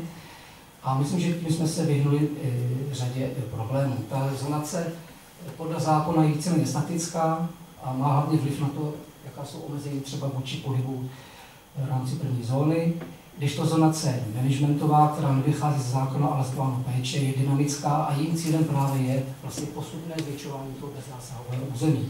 Takže když to zjednoduší, máme tady tři základní barvy. To, co je zelené, je teďka bezzásahové, to, co je červené, je trvalé zásahové a to, co je žluté, to je většina plochy, ta znamená dočasně zásahové. Takže naším jednoduchým cílem je v budoucnosti dosáhnout toho, že budeme mít pouze zelenou a červenou barvu. V loňském roce se nám podařilo to, že jsme vlastně tyto managementové přístupy sladili se saskou stranou, takže to byl jeden z podkladů pro tu certifikaci od Federace Europark, že máme společnou managementovou mapu pro oba národní parky České a Saské Švýcarsko. A vlastně dělali jsme to tak, že jsme ty různé typy managementu, které vycházejí z různého legislativního rámce, to je ten sloupec vpravo, v Česku a v Sasku převedli na společný jmenovatel na pět základních managementových typů, to těch pět barv vlevo, a na základě toho nyní jsme vlastně schopni v rámci toho celého bilaterálního národního parku skutečně srovnávat to, co je srovnatelné a vidíme, v jaké míry nám to státní hranice odpovídá nebo naopak odpovídá. Aby to neznělo tak idylicky, tak jsem si ještě připravil na závěr určité otázky nebo problematické okruhy, které vnímám eh, v souvislosti s kategorizací IUCN, pokud teda u národních parků. Eh, myslím, že ten požadavek ty přirozené procesy nebo bezzásahový režim, řekněme, na eh, třech čtvrtinách plochy, není dost precizně definován, co se tím vlastně myslí. Na státní úrovni u nás máme metodický materiál ministerstva, který vlastně říká, jaké činnosti jsou připuštěny v rámci těch tzv. bezzásahových územních národních parcích. Je to nějakých 6 nebo 7 tzv. výjimek. A samozřejmě diskuse může být o tom, jestli tyhle ty výjimky, takové deklarované v rámci České republiky, jestli jdou nad rámec těch principů IUCN nebo ne. Tam například i takové věci, jako je lov, eh, likvidace invazních druhů a podobně. Konkrétně ty invazní druhy je v podstatě speciální problém, který řešíme v našem národním parku, protože máme velký problém s invazní borovicí vejmutovky a eh, tady vidím zase jako jednu kardinální otázku, která se taky často řeší a není úplně jednoznačná odpověď, jak je to vlastně s možností likvidace invazních druhů v rámci jednak národních parků kategorie 2, případně dokonce v rámci území 1, to znamená území divočiny, což souvisí s principiální otázkou, jestli nám v těch národních parcích jde o ochranu spontánních procesů, ale v těch přirozených ekosystémech, anebo nám jde o jakoukoliv spontanitu za každou cenu. V tom druhém případě se eh, domnívám, pokud bychom v národních parcích invazní druhy s odkazem na bezzásahovost neeliminovali a v kulturní krajině, ano, tak bychom časem mohli dojít paradoxu, že vlastně národní parky nebo územní divočiny by se stávaly vlastně centry rozšíření invazních pro dokreslení jenom rozšíření vejmutovky v Národním parku České Švýcarsko, aby bylo patrné, o jak, o jak závažný problém pro management našeho národního parku se jedná. Pokud bychom se chtěli poradit s těmito eh, guidelines IUCN, tak eh, tam ta možnost těchto dočasných zásahů, například intervencí vůči invazním druhům, je zmíněna konkrétně, ale všude se píše, že se musí jednat o intervence, které jsou limitovány v čase i v prostoru. Což ale zase jaksi je v rozporu s, se všemi zkušenostmi z invazních biologů, protože jakmile se jedno pustíte do likvidace invazních druhů, tak musíte mm, počítat s permanentní kontrolou. To prostě není činnost, kterou je možné potom jednou ukončit. Eh, další otázka, kterou vidím docela podstatnou, je i velikost těch území. Otázka, kde vlastně ten bezzásahový režim je ještě nějaký smysluplný ochranářský koncept a kde je to vlastně umělý konstrukt. Kdy to území může být tak malé, že i při formálním dodržení té bezzásahovosti externí vlivy jsou velice silné. To jsou otázky, které jsou se slovem, s požáry, s různými disturbancemi. Například jeden, jeden příklad z Rakouska, Národní park Nojsí v Lerze, jestli znáte, když jsem nebyl poprvé, jsem byl překvapen tím, že to je Národní park kategorie 2. A potom jsem zjistil, jak to vlastně bylo dosaženo. Ten Národní park je vlastně klastrový Národní park. Je to vlastně souhrn několika no, různých ploch, které sami o sobě skutečně tu bezzásahovou splňují. Ale otázka je, jestli v takovém případě skutečně lze mluvit o nějakých přirozených procesech. To znamená, že tady zase chybí nějaký požadavek na minimální plochu a na minimální souvislou plochu, aby skutečně bylo možno mluvit o kategorii 2, případně 1. Konečně poslední problém je vlastně eh, souvisí s rychlostí obnovního managementu u těch národních parků, které k tomu směřují, jako je ten národní park. Eh, to znamená, vnímám to tak, že klíčové pro to přiřazení kategorie není současný stav, ale cíl. Nicméně otázka je, jak daleko od toho cíle můžeme, od toho cíle můžeme být. Na to jsem někdy otázku eh, odpověď nenašel, protože v našem případě je to možná extrémní rozdíl. My jsme do našeho plánu péče na 5% bezzásahové území, což je extrémně málo v porovnání s jinými národní parky, ale cíl máme 95%, což je extrémně budete mít ještě čas potom samozřejmě diskutovat. Poslední slide, poslední slide je, že eh, kategorii IUCN vnímám jako nenahraditelný rámec pro prostě dlouhodobé směřování chráněných území. A to, co mi chybí u nás, je nástroj, který mají v Německu, že pro národní parky mají tzv. Nacionální park program, program národního parku, kde jsou na začátku vzniku parku stanoveny strategické cíle a o těch už se potom nediskutuje. Plány péče mají taky, ale ty jsou pouze o tom, jak se naplňuje ten program národního parku a ne jako u nás, že se každý deset let při plánu péče znova otvírají strategické otázky. To je všechno, děkuji za pozornost.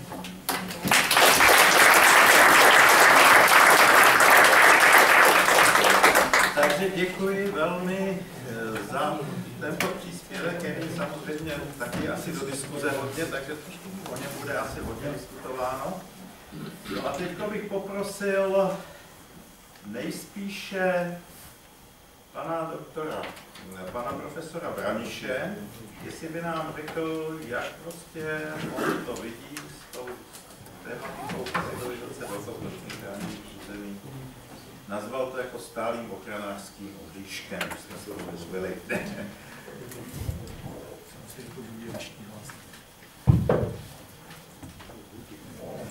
Dobrý večer, dámy a pánové. Eh, Já trochu odlehčím těch eh, prvních pár eh, sekund, když jsem se podíval na program a na ta jména, která jsem na tom programu uviděl, tak jsem si říkal, že nemá smysl, abych sem chodil, protože jsou tady vlastně borci, kteří praktikují v ochraně přírody, dokonce i v té mezinárodní, ale nakonec, když jsem se podíval na, ten, na tu sestavu, tak jsem zjistil, že tady mám co dělat, protože když se takhle podívám, tak pan doktor Váha, ten funguje tak asi zhruba 15 let v ochraně přírody, když se podívám na pana doktora Utrekla, Jia Hertla a pana doktora Roka, tak zhruba asi tak 25 let v ochraně přírody. A potom, dobře, 30. Potom, když se podívám dál, samozřejmě na pana doktora Bibulí, teda na pana doktora Čeřovského, taky tam prostě obrovský hiát, to je nějakých skoro 60 let, tak jsem se říkal, tak to je fajn, tam je potřeba to zapotit, protože já si všímám té problematiky zhruba asi 40-45 let. Tak jsem si říkal, to je fajn. Na druhou stranu nejsem už dlouhou dobu vlastně žádný praktik, ale to už je osud učitelů, takže jsem teoretik, takže mi to odpustíte. Že vlastně já tady takřka nemám co dělat, ale z těchto důvodů si myslím, že to je úplně v pořádku. Já bych si chtěl všimnout některých ale takových docela možná myšlenek, které by nás mohly malinko znejistit v tom, jak to vlastně s tou kategorizací je, tím, že bych se podíval trochu do minulosti, jak to s tou kategorizací pravděpodobně bylo.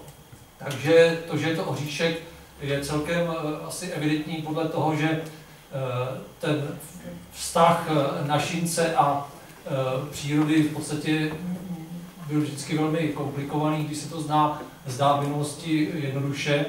Stejně tak ten náš přístup k tomu problému, nebo chcete konceptu ochrana přírody, nebyl vždycky stejný. Přestože teď to vypadá, že si všímáme IUCN kategorie 2, nebo vůbec kategorizace jako takové, držíme se nějakých pravidel, ptáme se, jestli mají součástí zákonů nebo nemají součástí zákonů, do jaké míry jsou volné. A je třeba si uvědomit, že dříve byly nějaké kategorie, byla vůbec nějaká ochrana přírody? Já bych tady chtěl dát pár příkladů, že jednak byly kategorie, jednak byla ochrana přírody a byla úplně jiná. Dokonce dramaticky jiná, než je v současné době. A že bychom k tomu měli při tom, když se bavíme o tom, co to ochrana přírody je a jestli mám mít teda nějaká pravidla nebo nějaké mantinely vědět. Takže zaprvé, podle mého názoru můžete mít jiný názor. Ty první důvody k ochraně přírody byly řekněme, rituální nebo religiozní, Teď je otázka, byla to ochrana přírody, chránil někdo tu přírodu a byly tam nějaké kategorie. Tak stačí, když se podíváme do té historie trošičku, řekněme, psané, zjistíme, že náš jeden z teda významných předků těch slavních, že doplatil na to, že nerespektoval pravidla ochrany přírody, tedy té religiozní, protože prostě začal kácet nějaké stromy, které bylo zakázáno kácet, případně vstoupil, kam vstupovat neměl a poměrně za to utrpěl. V současné době dostanete pokutu, ale rozhodně vám hlavně nikdo na tom nenarazí. Ale zase není to úplné odlehčení, je to prostě jakýsi doklad o tom, že rozhodně ochrana přírody tady dříve byla, že teda bylo penalizováno to při překročení a teď je otázka, jak do toho nadspat ty kategorie. Pravděpodobně, já si to tak představuji, že byly posvátné háje, do kterých se jako tam mohlo vstoupit, ale co se tam třeba ještě dělat, na druhou stranu byly určitě posvátné háje, do kterých se prostě vstupovat nemělo. To znamená, jakási kategorizace byla. Ale pojďme dál. Rozhodně někdy ve středověku začalo působit to, čemu se říká ochrana přírody z důvodů ekonomických nebo materiálních, protože bylo potřeba chránit jakousi komunitu před tím, aby ji někdo nevytěžil. Já tady dávám příklad tedy předpisu, který nebyl realizován majestář Karolína, v němž kromě jiného Karol IV. už také kategorizoval, říkal, lesy se budou chránit, protože je v nich nějaké dřevo a není jaksi dovoleno v nich rubati, protože jsou to lesy moje, čili by byla tady nějaká kategorie nejvyšší. Prostě v královských lesích se nerubalo a v těch ostatních možná si rubejte nebo choďte jak chcete, ale v tom zákonníku, který, který Karel IV. navrhoval, tak vlastně nějakým způsobem už naznačoval, že jednak se teda příroda musí chránit z nějakých důvodů, z úplně jiných důvodů, než se chránila z těch důvodů religiozních.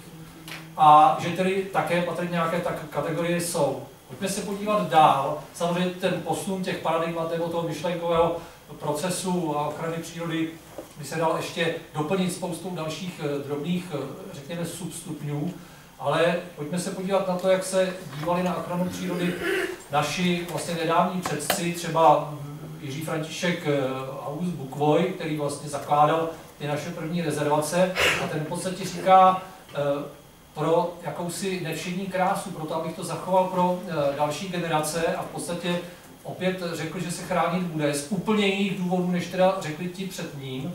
A také patrně můžeme v tom vysledovat jakousi kategorii, že tady v těchto lesech se prostě nebude těžit. Přitom teda v některých se třeba e, těžit mohlo a také bylo potřeba i zachovat podle, řekněme, toho minulého konceptu.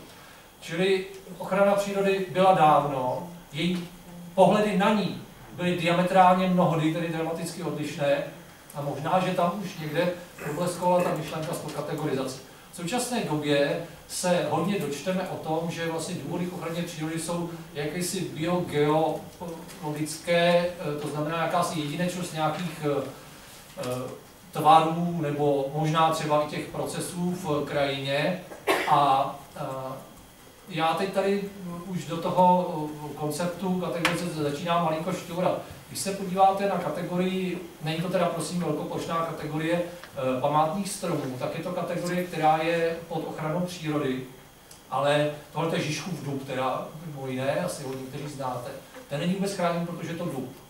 Nechráněn proto, protože pod ním spočinul Žižka, to znamená ten důvod pro ochranu tohoto dubu není vůbec biogeologická jedinečnost, ale je to prostě kulturní nebo řekněme nějaká historická jedinečnost. A jsme tady ve velkém problému, protože najednou se začínáme uvědomovat, že kategorizace ochrany přírody také může být jakýsi punc úplně něčeho, co s přírodou vlastně vůbec nesouvisí.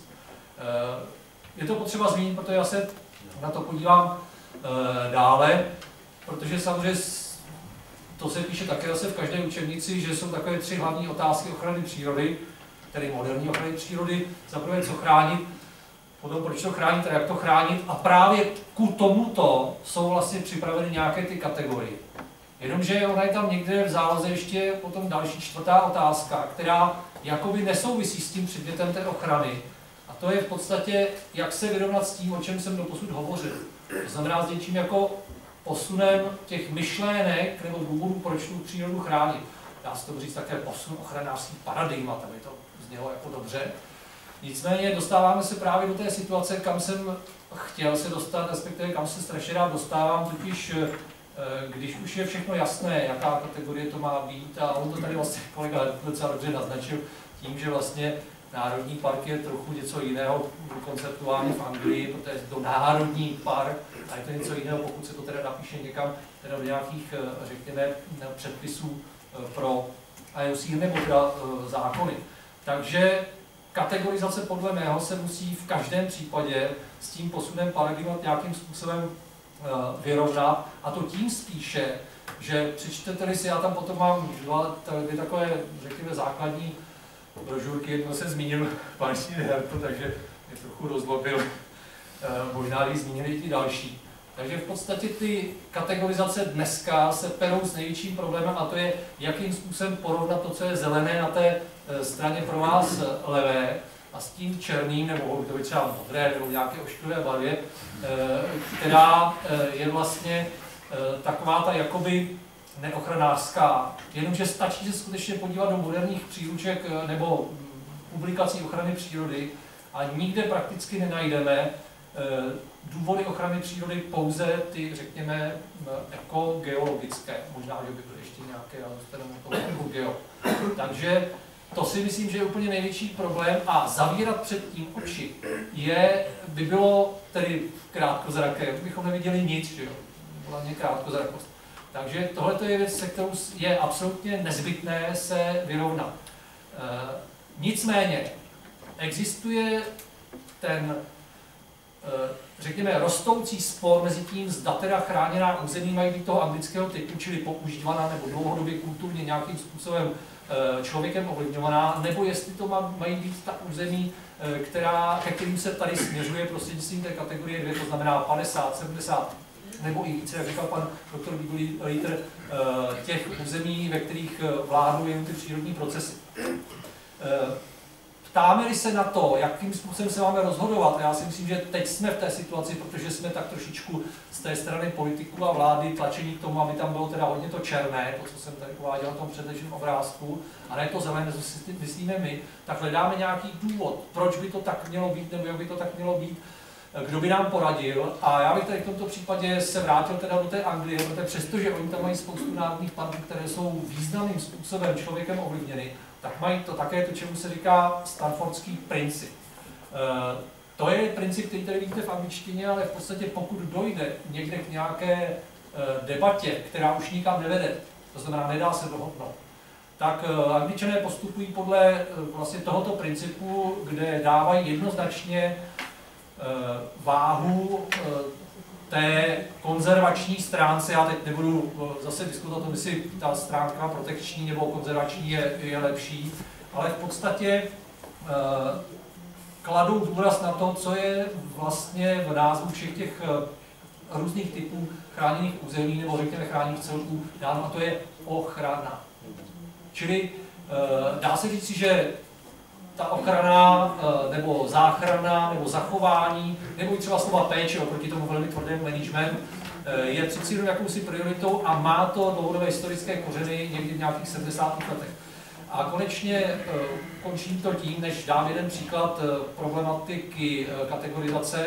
Já se dostanu z internetu, doporučuji velmi dobře podívat se zaprvé na úplně novou publikaci Evropské agentury pro ochranu přírody, ostatně spoluautorem je taky pan doktor Plesník, který není, asi by taky tady mohl být místo nás všech, eh, kde je opravdu velmi dobře pojatý ten, eh, to paradigma nebo ta myšlenka klasická a ta myšlenka, řekněme, novodobá. To znamená, jakým způsobem třeba rozhodovat o tom, jak se má co chránit.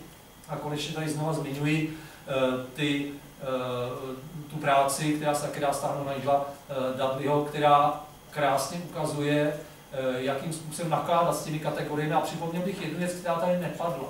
On totiž Nigel Dudley upozorňuje na jednu věc, nejenom jak podle čeho klasifikovat, že to je třeba kategorie 2, ale on tam dává velmi dobré příklady také toho, kdy to není. Já si myslím, že tohle by bylo potřeba také vzít, pokud se diskutuje v úvahu, pokud se diskutuje o kategorizaci, nejenom to, co dělá to území kategorii 2, ale také se podívat na to, co jí nedělá, nebo co by tam být nemělo. To tam je docela pregnantně napsáno, doporučuji, bychom se na to podívali. A konečně budu končit. Teď dám příklady eh, kategorizace, která nespadá vůbec pod IUCN, ale všichni určitě velmi dobře znají, protože spadá pod eh, jménem Biosphere, čili biosférické rezervace UNESCO, které taky mají jakousi kategorizaci, která vychází z toho základního modelu, že je nějaká jádrová zóna, potom je nějaká nárazníková zóna, potom nějaká přechodná zóna. E, v biosférických rezervacích na rozdíl, zase valná většina z vás to ví, já to připomenu, e, jsou ty podmínky dány, čili ta kategorie biosférická rezervace je dána tím, že tam musí být člověk. Jo, biosférické rezervace dokládají, jak krásně dokáže člověk e, v souladu s přírodou žít. Takže tam má lidská sídla, má tam pochopitelně výzkum, má tam monitoring, má tam e, výchovu a má tam turistiku a rekreaci, čili to poznávání. A když se podíváte na e, před, vlastně předloni, bylo 40 leté výročí, kdy jsme v Drážďanech e, schůzi zástupců biosférických rezervací, bylo to velmi zajímavé, protože tam v kuloárech, zatímco na obecně v plénu probíhala debata, jak je všechno úžasné, jak se všechno bude schvalovat, jak poroste počet biosférických rezervací na světě a kolik už jich tam je a tam prostě všichni jásali, tak v kuloárech se vedly hovory o tom, že bude na čase také se na tu kategorizaci podívat a patrně vyloučit nebo doporučit k vyloučení některá ta území, která nesplňují tak, tu kategorizaci biosférických rezervací, přičemž to tež co zde bylo zmíněno, platí, že státy chtějí mít biosférickou rezervaci a vlastně nazývají území biosférickou rezervaci, která vůbec nesplňuje ta kritéria. Dal jsem tady dva příklady. Jedno jsou ostrovy, jsou ostrovy u e, Francie, e, Iroas a jedno je teda Vyšínský e, národní park v Rusku, respektive promiňte, biosférická rezervace. Podívejte se na to, kolik třeba zaujímají těch zón Já to vrátím, abyste viděli zhruba ten model. Eh, v těch jednotlivých parcích, zase to tam dám, eh, ty jednotlivé klíčové zóny, a dá se říct, že ta první, ta má půl procenta jádrové zóny z celé rozlohy. No, tam se prakticky nedá nic chránit, což tedy zmiňoval pan doktor Hertl, jak má být vlastně veliká ta oblast, která je absolutně chráněná. Zatímco ten druhý park, jak zdánlivě teda to všechno splňuje, protože tam má úplně úžasnou první zónu, ale bohužel tam má jenom 15 obyvatel, kteří tam prakticky nežijí, protože jezdí do blízkých, blízkých průmyslových závodů a vůbec nemonitoruje, nemá tam žádnou vědu a neplní vlastně ty další podmínky. Takže eh, tohle to jsem chtěl trochu načít to naše eh, přemýšlení o tom, eh, co to kategorizace může znamenat v různých pojetích ochrany přírody. Děkuji za pozornost.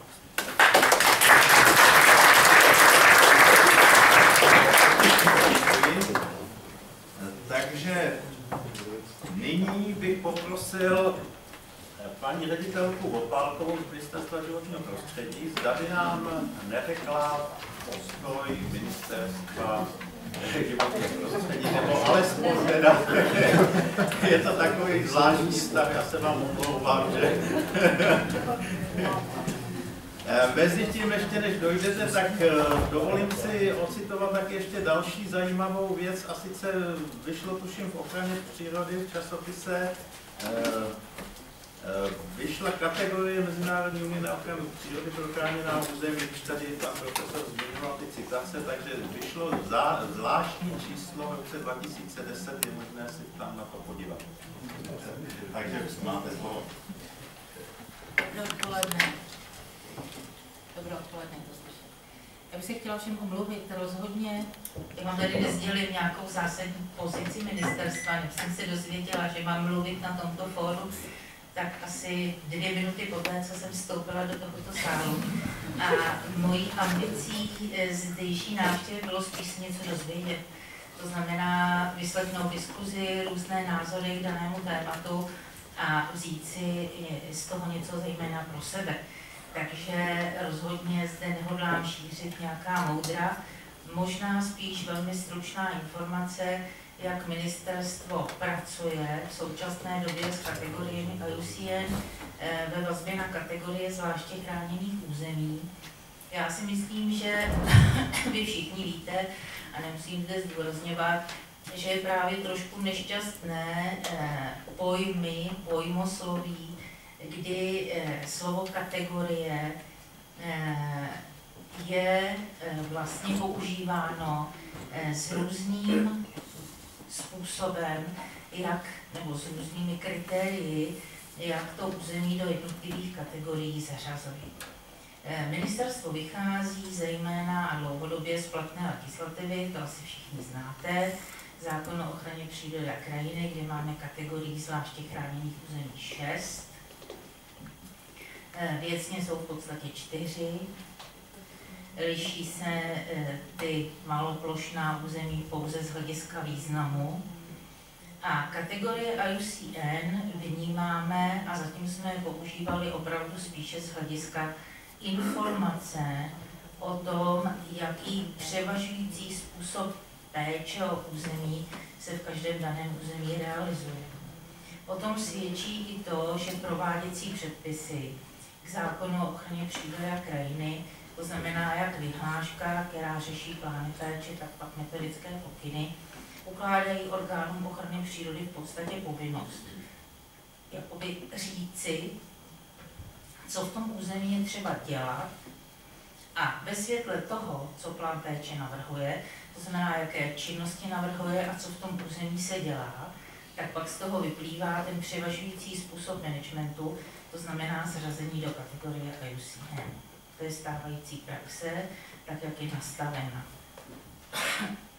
Možná je trošku problém v tom, že zákon a ochrana přírody u nás dlouhodobě kategorie spíš vnímala z hlediska toho, co se chrání, to znamená, co je předmětem ochrany. Zákon o ochraně přírody a krajiny poměrně sice obecně, ale docela jasně definuje to, co je předmětem ochrany jednotlivých kategorií. Pak zákon říká, co je cílem ochrany, ale už moc neříká, a to je ten problém, jakým způsobem a v jakém čase. toho cíle ochrany mám dosáhnout. Nikdy mezi kritérii pro zařazení území do kategorií nebylo hlavním kritérium převažující způsob péče. To nikdy nebylo a ani si myslím, že zatím eh, v této podobě s tím Česká ochrana přírody pracovat nebude. Protože u nás, tady v těch příspěvcích to bylo krásně vidět, u nás opravdu jde o to, co chráníme primárně, proč to chráníme a to jak, to potom už je předmětem konkrétního stavu na konkrétní ploše eh, z hlediska vlivu, které tam jsou a mění se to eh, z hlediska vývoje nejenom přírodního, ale i toho území, které kolem je. Takže tady si myslím, že my zatím neplánujeme, to mohu říct určitě, do zákona ani do nějakých vyhlášek kategorie IUCN dát jako povinnost. Dneska kategorie IUCN vnímáme jako informaci, která právně závazná není. S tím, že vycházíme zejména z toho, v jakém území jsme a čeho chceme dosáhnout. Tady bych maličko, eh, trošku mě zamrzela poznámka, že vlastně vůbec v nevíme, co chceme. Tak možná někde nevíme, ale třeba ty notoricky neustále opakovaná území z 30. let, tak už jsme dávno přihlásili. Každý rok vyhlásíme nově 10 národních přírodních rezervací nebo památek s tím, že opravdu těžiště naší činnosti je v tom, říci jasně, co chceme, to znamená předmět ochrany, cíl ochrany, musí stanovit ten předpis a plán péče určuje management. Ten určuje, co se v území má dělat. A trošku problém by se zonací, tady taky zazněly ty otázky zonace. Eh, Handrej to říkal, zákon o ochraně přírody a krajiny zonaci vnímá ochranářství. To znamená, zákon o ochraně přírody a krajiny vymezuje zóny podle intenzity ochrany, nikoli podle způsobu managementu. Tak to naše právní úprava stanovena není. Takže i tady trošičku dochází k matení pojmů, když se používá pojem zonace a ten pojem má různý obsah a různý význam. Takže tolik ode mě, já se opravdu omlouvám a spíš bude-li nějaký dotaz, ale tu pozici ministerstva tady formulovat nebudu. Děkuji.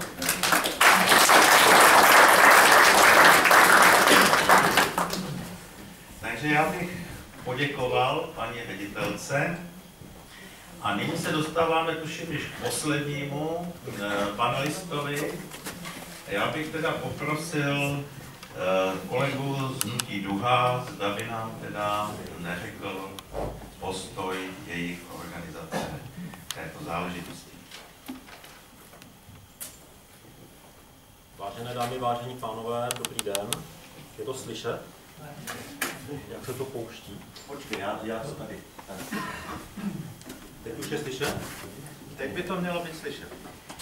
Já děkuji a e, děkuji za pozvání na panelovou diskuzi, děkuji, e, že tady mám desetiminutový prostor e, říci určitý návrh a představu, jak sladit kategorizaci IUCN a přístup, legislativní přístup k ochraně, chráněným územím v České republice. Já vím, že to je, je to maraton, maraton který je těžké vydržet s pozorností. Já se pokusím být stručný.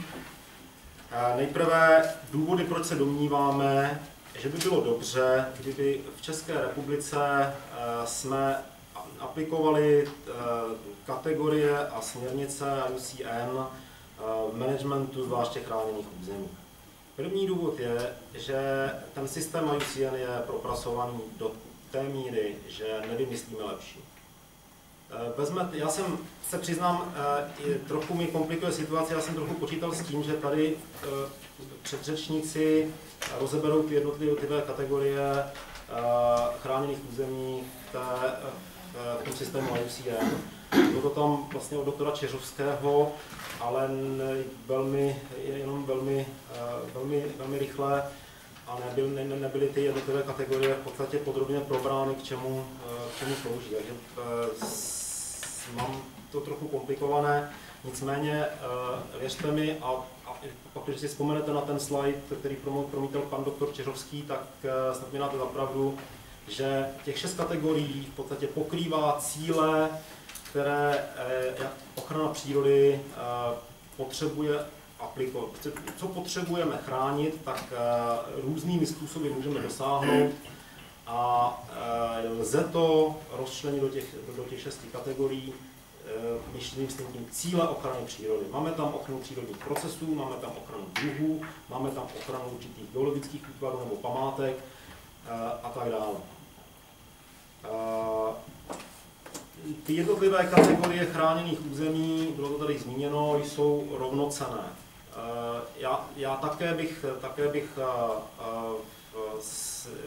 podepisuji to, že nelze říkat, že jedna kategorie je něco víc než ta druhá. Není. Oni jsou, každá ta kategorie sleduje jiný cíl ochrany přírody. Tak nelze říct, že kategorie 2 je něco víc než kategorie 4. Něco jiného je, když se na to podíváme z hlediska eh, toho, co těmi cíly sledujeme. Pro určitou vzácnou orchidej je dobré, když chráněné území, na kterém se nachází, je klasifikováno jako kategorie 4 a ne třeba kategorie 1. Pro horskou smrčinu je dobré, když se nachází v chráněném území, které je kategorizováno, jeho cílem managementu je v, v kategorie 1, nebo první zóna Národního parku kategorie 2. Byli naším cílem eh, chránit přírodní procesy, proto abychom viděli, jak eh, příroda reaguje na změny vnějšího prostředí. Planeta se mění, přírodní se prostředí mění. Chceme-li vidět, jak, jak, vypadají, jak budou vypadat přírodní ekosystémy za, za 50-100 let, tak pak použijeme logicky pro dané území kategorii 2. V tomto smyslu si myslím, že už můžeme hovořit o jisté degradaci, pakliže určité území, které svými přírodními hodnotami má na to, má odpovídá kategorii 1 nebo 2 a pak, když tam se vyskytují převážně společenstva, jejich ochrana formou managementu odpovídající kategorii 1 nebo 2 by byla přínosná a prospěšná, je, je Eh, kategorizována jako, eh, jako kategorie 5 a je o ní pečováno způsoby managementu v souladu s kategorií 5. Pak v tomto smyslu si myslím, že je možné ho, hovořit o určité degradaci, nikoliv však kategorii IUCN, ale toho příslušného území. Eh, další důvod, proč se domnívám, že je dobré použít systém ten propracovaný systém IUCN i v České republice je eh, určité vnímání chráněných území veřejnosti. Eh, pak pan doktor Herto tady hovořil o tom, jaký emotivní náboj má název Národní park. Národní park, pak když si se zeptáte lidí, kteří přijdou do Národního parku, a my jsme to udělali, tak vám Většina návštěvníků odpoví, že očekává v Národním parku, že tam bude na určité významné ploše ponechána příroda bez zásahu člověka. Dovolím si říct, že ještě emotivnější náboj má pro, eh, pro veřejnost eh, název rezervace. Eh, od rezervace lidé očekávají velmi, pří, velmi přísné, přísnou ochranu toho daného území. Když někomu řeknu, že se v rezervacích u nás těží dřevo běžně, tak tomu lidé nevěří, protože tam mají většinou zakázaný přístup a vědí o tom. Třetím důvodem, který už není tak podstatný, ale není ani tak nevýznamný, abych ho nezmínil, je, že Česká republika je členem IUCN. Eh, přihlásili jsme se do určitého eh, svazu a přijde mi divné, když eh, se, když eh, a ten svaz, jak tady bylo řečeno, i doporučuje členským státům, aby v těch svých národních kategorizacích zohlednili systém IUCN, tak je trochu divné, když eh, děláme, když, to, když v podstatě to, co z toho členství vyplývá, ignorujeme, anebo, anebo děláme něco jiného. A nebo dokonce, a nebo dokonce to už pak lze považovat za úplný vrchol pokrytectví, pak když říkáme o určitém chráněném území, že jich chceme chránit jako kategorii 2 a že je to teda náš společný cíl. A pak, když pak experti, včetně IUCN, řeknou, že ten management tomu neodpovídá, ale pak, když chceme, aby eh, to skutečně byla kategorie 2, takže je potřeba změnit, tak řekneme, že to území vlastně na kategorii 2 vůbec nemá. Eh, Třeba říct, že ostatní státy, převážnou většinou byla tady zmíněna Anglie z historických důvodů, ale eh, převážná většina ostatních států eh, to nedělá, že by, eh, nebo snaží se každý stát jinou měrou v podstatě ta doporučení IUCN nějakým způsobem zohledňovat. Kolega Jaromír Kizl, který je právník a je škoda, že tady nemůže být místo mě, eh, kdyby, kdyby mohl, tak tady nemluvím já, ale, ale on. Eh, Ve své diplomové práci, já použiju tady jeden, jeden z jeho údajů, které, které, které zjistil, eh, uvádí, že ze 300 národních, evropských národních parků, tedy chráněných území, které používají ve své národní legislativě slovo národní park, jich 250 je přihlášeno jako kategorie 2 a ten zbytek je převážně nejasný.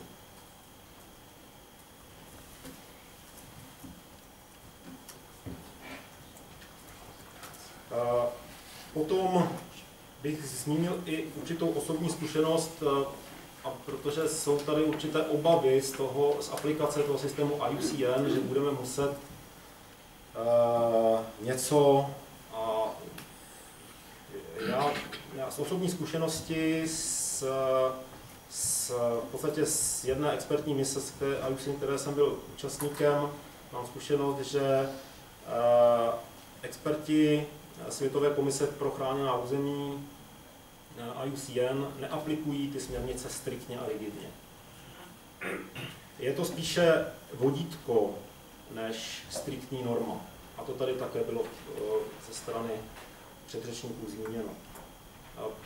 Příkladem toho budiš eh, Národní park Šumava, kde eh, expertní mise IUCN některá nespochybnila dlouhodobý cíl Národního parku dostat se někdy v roce 2030 na více než 50% jádrové zóny, přestože eh, eh, ani nikoli v 75% jak se v některých verzích eh, směrnic IUCN doporučuje.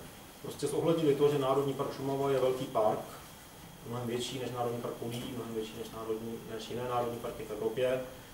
A nepozastavili se nad tím, že je tam jako dlouhodobý cíl 50% Za to za to zdůraznili, že ta, ten aktuální management neodpovídá tomu cíli, jak se k tomu dostat. Čili tolik důvody, proč, proč by bylo dobré, kdybychom se drželi víceméně eh, těch směrnic IUC nějakou určitého vodítka. Pak, když to chceme dělat, pak, eh, pak teď zkusím krátce určitý přehled, jak jsme na tom naší legislativě nyní. Asi nejpodstatnější je zákon o ochraně přírody a krajiny, který v paragrafu 14 vymezuje jednotlivé kategorie chráněných území. U těch kategorií chráněných území není uvedeno doporučení, nějaké do, do, doporučení péče podle směrnic IUCN, tak jako to je třeba v jiných zákonech, bylo to tady zmíněno, zase předřečníky, že v některých vyhlašovacích předpisech jiných evropských zemích je přímo uvedeno, uvedena ta kategorie, ke které se to příslušné území hlásí, aby bylo zřejmé, k čemu ten management má směřovat. Mají to natvrdo, předpisu, vyhlašovací, ať už to vyhláška nebo zákon. To v našem, v našem zákonu o ochraně přírody není. Nicméně přesto jsou naše kategorie, tak jak jsou stanoveny zákonem o ochraně přírody, kompatibilní se systémem IUCN. Nejsou s ním některé v rozporu. Dokonce, když se podíváte do důvodové zprávy, kterým, která šla spolu se zákonem do poslanecké sněmovny, která samozřejmě, kde samozřejmě to, co je tam uvedeno, tak není právně závazné. Nicméně zjistíte tady, že v důvodové zprávě se uvádí k paragrafům 15, 25, 28, 33, 35 a 36, to jsou ty paragrafy, ve kterých jsou definice jednotlivých chráněných území, se uvádí, že že tyto paragrafy stanovují podrobné definice jednotlivých kategorií zvláště chráněných území s přihlédnutím k mezinárodnímu standardu. Čili eh, je evidentní, že tvůrci zákona eh, přinejmenším s kategorizací IUCN nějakým způsobem pracovali. A pak, když si vezmete jednotlivé definice těch chráněných území, a ten není čas, abych vzal definici po definici, eh, zmíním, zmíním asi Národní park a přírodní památku pro ilustraci. Národní park je zákonem definován jako roz, jako národní parky jsou rozsáhlá území, jedinečná v národním i mezinárodním měřítku, jejich značnou část mají přirozené nebo lidskou činností málo ovlivněné ekosystémy, v nich rostliny, živočichové a neživá příroda mají mimořádný vědecký, výcho, vědecký a výchovný význam. Když bychom tady předtím viděli ty jednotlivé definice, tak byste zjistili, že tato definice je jaksi mnohem méně konkrétní, nicméně není některá v rozporu s eh, tou definicí ICN. Určité konkrétnější vymezení pak najdeme v jednotlivých eh, nařízeních vlády, kterými byly národní parky vyhlášeny v případě Českosaského švýcarské zákony.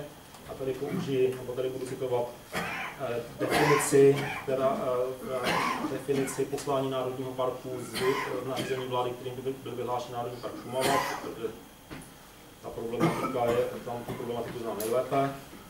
A kde je uvedeno, že posláním Národního parku je uchování a zlepšení jeho přírodního prostředí, zejména, a teď je tady to postupně uvedeno, ochrana či obnova samořídících funkcí přírodních systémů, na první, jako je uvedena první, pak přísná ochrana volně žijících živočichů, planě rostoucích rostlin, zachování typického vzhledu krajiny, naplňování vědeckých a výchovných cílů, jakož i využití území Národního parku v turistice a rekreaci, nezhoršující životní prostředí.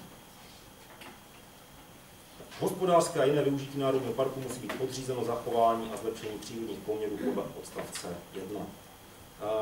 Bohužel v té definici v nařízení vlády, kterým byl vyhlášen Národní park Šumava, už není uvedena určitá prioritizace těch jednotlivých cílů, které tam jsou, takže, my se do, takže dodnes tady existují, existují spory o to, jestli, je, jestli máme chránit samořídící funkce přírodních ekosystémů nebo zachovat typický vzhled krajiny, přestože Šumava třeba je natolik veliká, že tam jde obojí.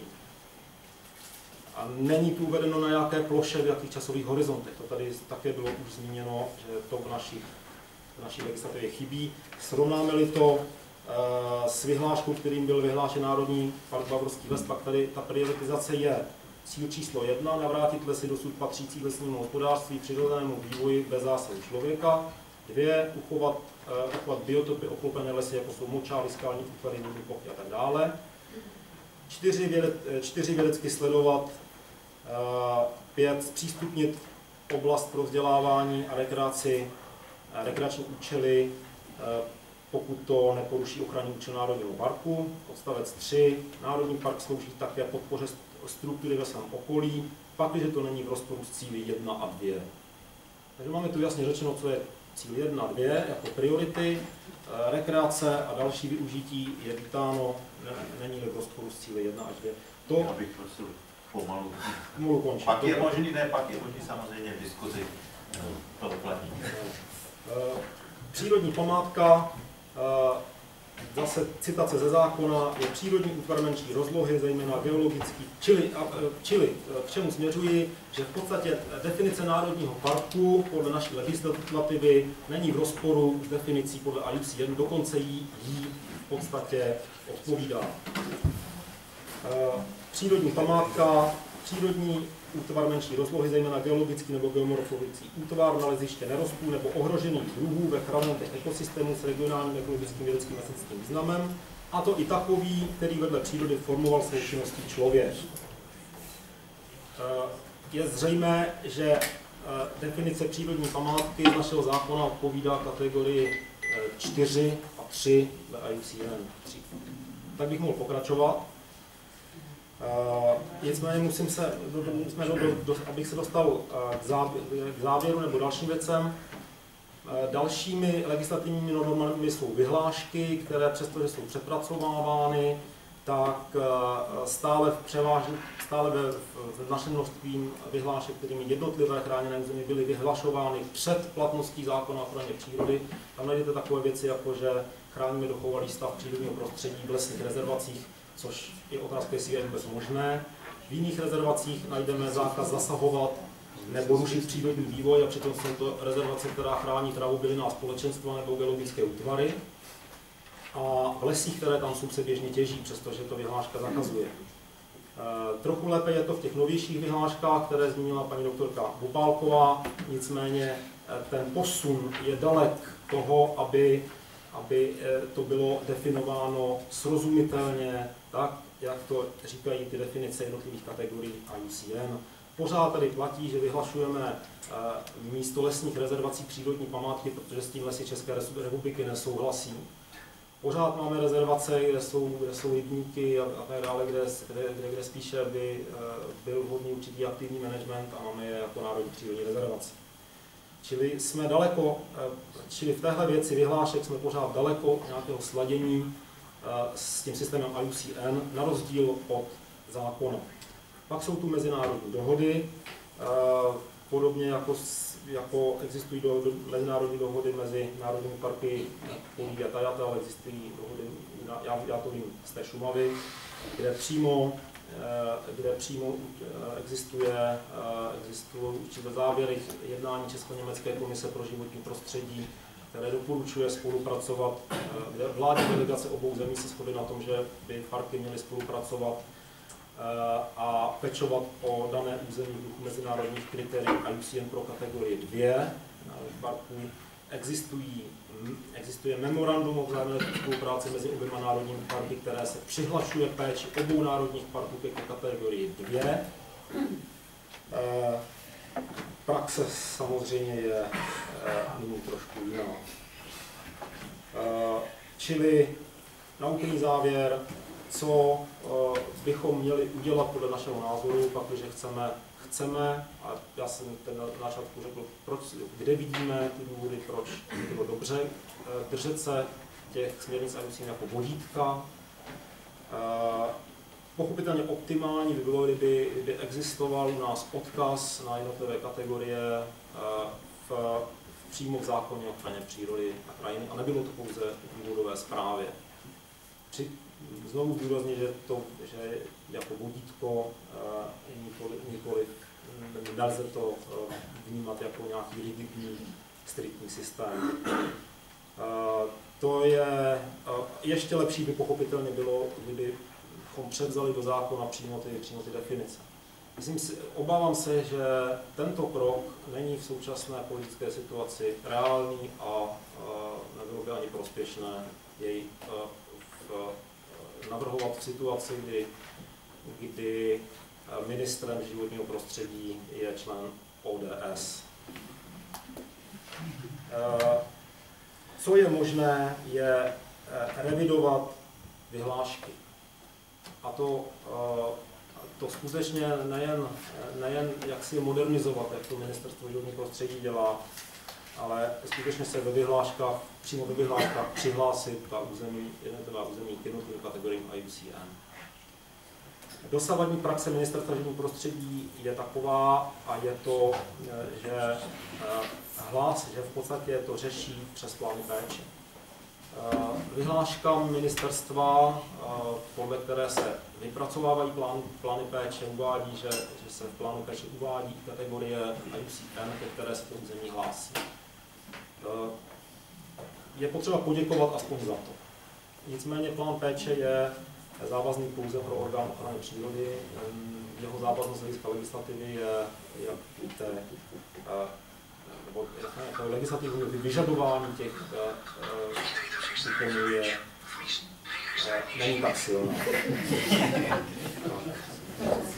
To je všechno, děkuji.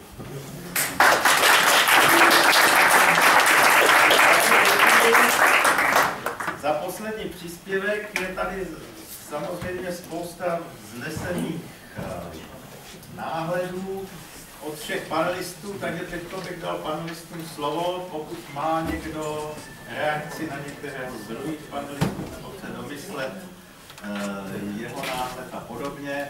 Kdo se hlásí první, prosím, ještě počkáme chviličku na překlad.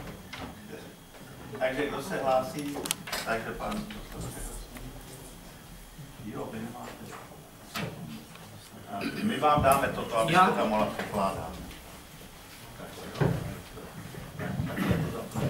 Já bych chtěl prohlásit, že eh, diskutovat jako panelista teď nebudu a doporučoval bych to i ostatním panelistům, ač vidím zde v publiku mnoho kompetentních osob, které by jistě mohly k tomu vznést eh, velice podnětné další připomínky a názory. Mohl bych sice korigovat některé takové věci, které tu zazněly, jako třeba pletení, zonace a kategorizace, a, ale měl bych jedno sdělení, který, nás, který vás asi mnoho nepotěší. IUCN, která mimochodem tak jeden, jedna drobná korekce, se zase vrátila k svému titulu Mezinárodní unie pro ochranu přírody, už si neříká Světový svaz ochrany přírody, jak tu bylo několikrát použito. Tedy IUCN měla loni v září eh, svůj další světový kongres ochrany přírody, eh, kterého se zúčastnil pan inženýr Hošek, škoda, že tu není. Já jsem neměl příležitost se zúčastnit, ale studoval jsem materiály, které z tohoto kongresu vzešly a mezi nimi jsem také našel jeden názor, který tam byl vyjádřen a který tam byl zřejmě i široce přijat, že dosavadní kategorizace má své problémy a ne zcela vyhovuje a bude potřebovat revizi. Takže eh, to je jako náhled, ale přesto dám jako možnost ostatním panelistům, pokud teda nezdílejí tento náhled, že dají rovnou slovo publiku, takže jak jste na tom? Takže vy, vy ne, vy taky ne, eh, pan doktor ne. Takže nyní teda dávám slovo publiku. Eh, Vidím tu dva dost notoricky reagující, takže si nejsem jist, jestli bych tentokrát eh, nedemokraticky rozhodl nechtít někoho jiného, ale eh, kdo se hlásí? Ty se hlásíš? Tak prosím. Inženýr Dlouhý a potom pan inženýr Urban, jistě. Já začnu takovým dotazem. Jestliže některá území tady u nás eh, hlasitěji. jako národní park, eh, když jsem takhle jezdil po Evropě, tak se mi zdá, že národní park, ve kterém jsou obsaženy obce, to znamená zahrnuje i obce, eh, je v Evropě, který národní park podle IUCN je u, na, je u nás jeden a potom ještě jsem to viděl v Albánii, ale nikde jinde ne. Je to špatný názor? Že, ty, eh, že v zahraničí... eh, Ty IUCN park- 2 eh, nezahrnují nikdy obce. Tak a já bych zatím dal slovo dalšímu. Prosím panelisty, aby si jako zaznačili případnou odpověď na, toto, na, to, na tuto otázku národní parky a obce. A pan inženýr Já bych Urban, měl, který... já mám poznámku k tomu, co tady říkal pan doktor Bláha, a sice ta, eh, to přijetí kategorizace IUCN do našeho zákonného systému, do našeho zákona. Myslím si, že to není možné. Všichni vědí, že systém kategorizace IUCN prodělává změny, že je nedokonalý, jak právě poznamenal doktor Čerovský, dokonce se o něm jedná, o jeho změně, a ono se jedná už hodně dlouho, už řadu let se prostě neustále projednává, jak ten systém zlepšit. A takovýto nedokonalý systém aplikovat na náš zákon znamená zvýšit zmatky, které už tak plynou z naše, v našem zákoně, z různých nedokonalých eh, definic a tak dále. Čili já bych se tímto systémem eh, vůbec nezabýval do našeho zákona. My se k němu můžeme připojit, ale mimo naše zákonné předpisy. Dobře, děkuji, takže to je jeden náhled. Eh, Já bych ještě dal přece jenom těm zbývajícím dvou, tentokrát už vám dám slovo, takže prosím, první a druhý, a pak bychom odpověděli, nebo vám budete mít možnost reagovat en bloc, jo? Já bych měl pan, na pana doktora Bláhu. V tom eh, Národním parku Šumava jsou nepůvodní dřeviny. A teda já jsem vítal, že ten kůrovec tam přišel. Jo. No, je to přírodní proces, že jo. Ale jako, když se to nechá samovolně, tak se tam ty původní dřeviny nedostanou. Nebo dostanou, ale za strašně dlouho. Takže já si myslím, že určitá péče by tam měla být, dostat tam zase zpátky vůka, horský javor a To je samozřejmě velmi důležitá otázka, myslím si, že na to odpoví i pan doktor Bibelvíter, nejenom pan doktor Bláha. Eh, A teď bych poprosil teda Honzu Zemana. Takhle je rozhodně štěstí, že ty pravidla IUCN se u nás neuplatňuje ze zákona, ale jsou dosti děravý. Uvedu několik příkladů. Vychází se z toho, že člověk dočená, ale je dočená mnoha způsoby z minulosti. Takže například v Národním parku Český Švýcarsko mají tam dosáhli prostě od vejmudovky, ale taky smrku, který tam nemá co dělat, který se musí změnit. Bude to trvat podle mě dvě, tři generace těch stromů, tak 200, 300 let, dejme tomu. Podobná- Tak to myslím, že nám to bude hned, ano. takže, takže jako, než se může uvažovat o bezákonné projekt, se musí vyhubit všechny invazní druhy, které řadě. A za druhý, taky nepůvodní a zajistá skutečně přírodní původní na ten přírodní ekosystémy. Přírodní procesy a přírodní ekosystémy jsou, můžou být značně protikladný, což je na Šumavě, kterou se půjde prakticky zničit a národní park odepsat. Ovšem jako někteří pořád bávali, jak uspěli, ale to je jako jiná věc. Jsou další procesy. Mluvil, mluvil pan z Národní parku Český šel pořád požádů, mají tam velký, mají tam velký problém důsledně ukázných turistů, ale jako bohužel, když tam začne hned, musí se hasit, protože to se obvykle to udělají lidi, ale kdyby to udělal bez, což se obvykle nezjistí včas, tak, tak jako asi s tím nemůžeme nic, nic jiného dělat. Ovšem máme i další věci. Například v rezervaci Prokopskou máme... Prosím tě, Honzo, hlavní, jenom hlavní otázky, protože pokud že i ostatní jsou zde, jako... Takhle budu, prosím budu, pokračovat. Kdybychom nechali celý procesy v rezervaci Prokopský vývodí, tak nám ještě zase plný skalní stavy, nám tam zarostl byl zlikvidovaný, ale to mě dřevinami, ne? A to tam máme ještě ty agát a ty bojovnice černou a podobné, podobné věci. Takové věcí tam je podstatně víc. Národní, park Šumava měl, měl být vytvářen 200-300 let. Když to tam přišlo, ně, přišlo někteří, kteří o tom nevěděli ani nic, a řekli, uděláme to hned, takže máme po Národním parku a... Výborně, takže to je taky jeden náhled na věc, děkuji, já myslím, že jako bude zodpovězeno, čili teď bychom uzavřeli první část, první čtyři teda vlastně dotazy, nebo ono jich bylo více, díky Honzovi, a já bych poprosil teda, pokud bychom mohli teda zodpovědět, já nevím, jestli první bude ohledně ty národní parky a obce, nebo eh, tam teda to bylo nejdřív na eh, doktora Vládu sice, ale to by asi mohli odpovědět i další, tak a pak, pak pan doktor Biblerí, kdybych k tomu řekl, který má zase zkušenost vlastně z celého světa. Welche Frage soll ich denn? Eh, jestli k které otázku, nebo ke které otázce se máte vyjadřovat, že? Eh, Vy jste asi teď překládala, já jsem právě teď, jestli by bylo možné reagovat na první tu otázku ohledně ty obce, jestli mohou být v Národním parku jako vevnitř.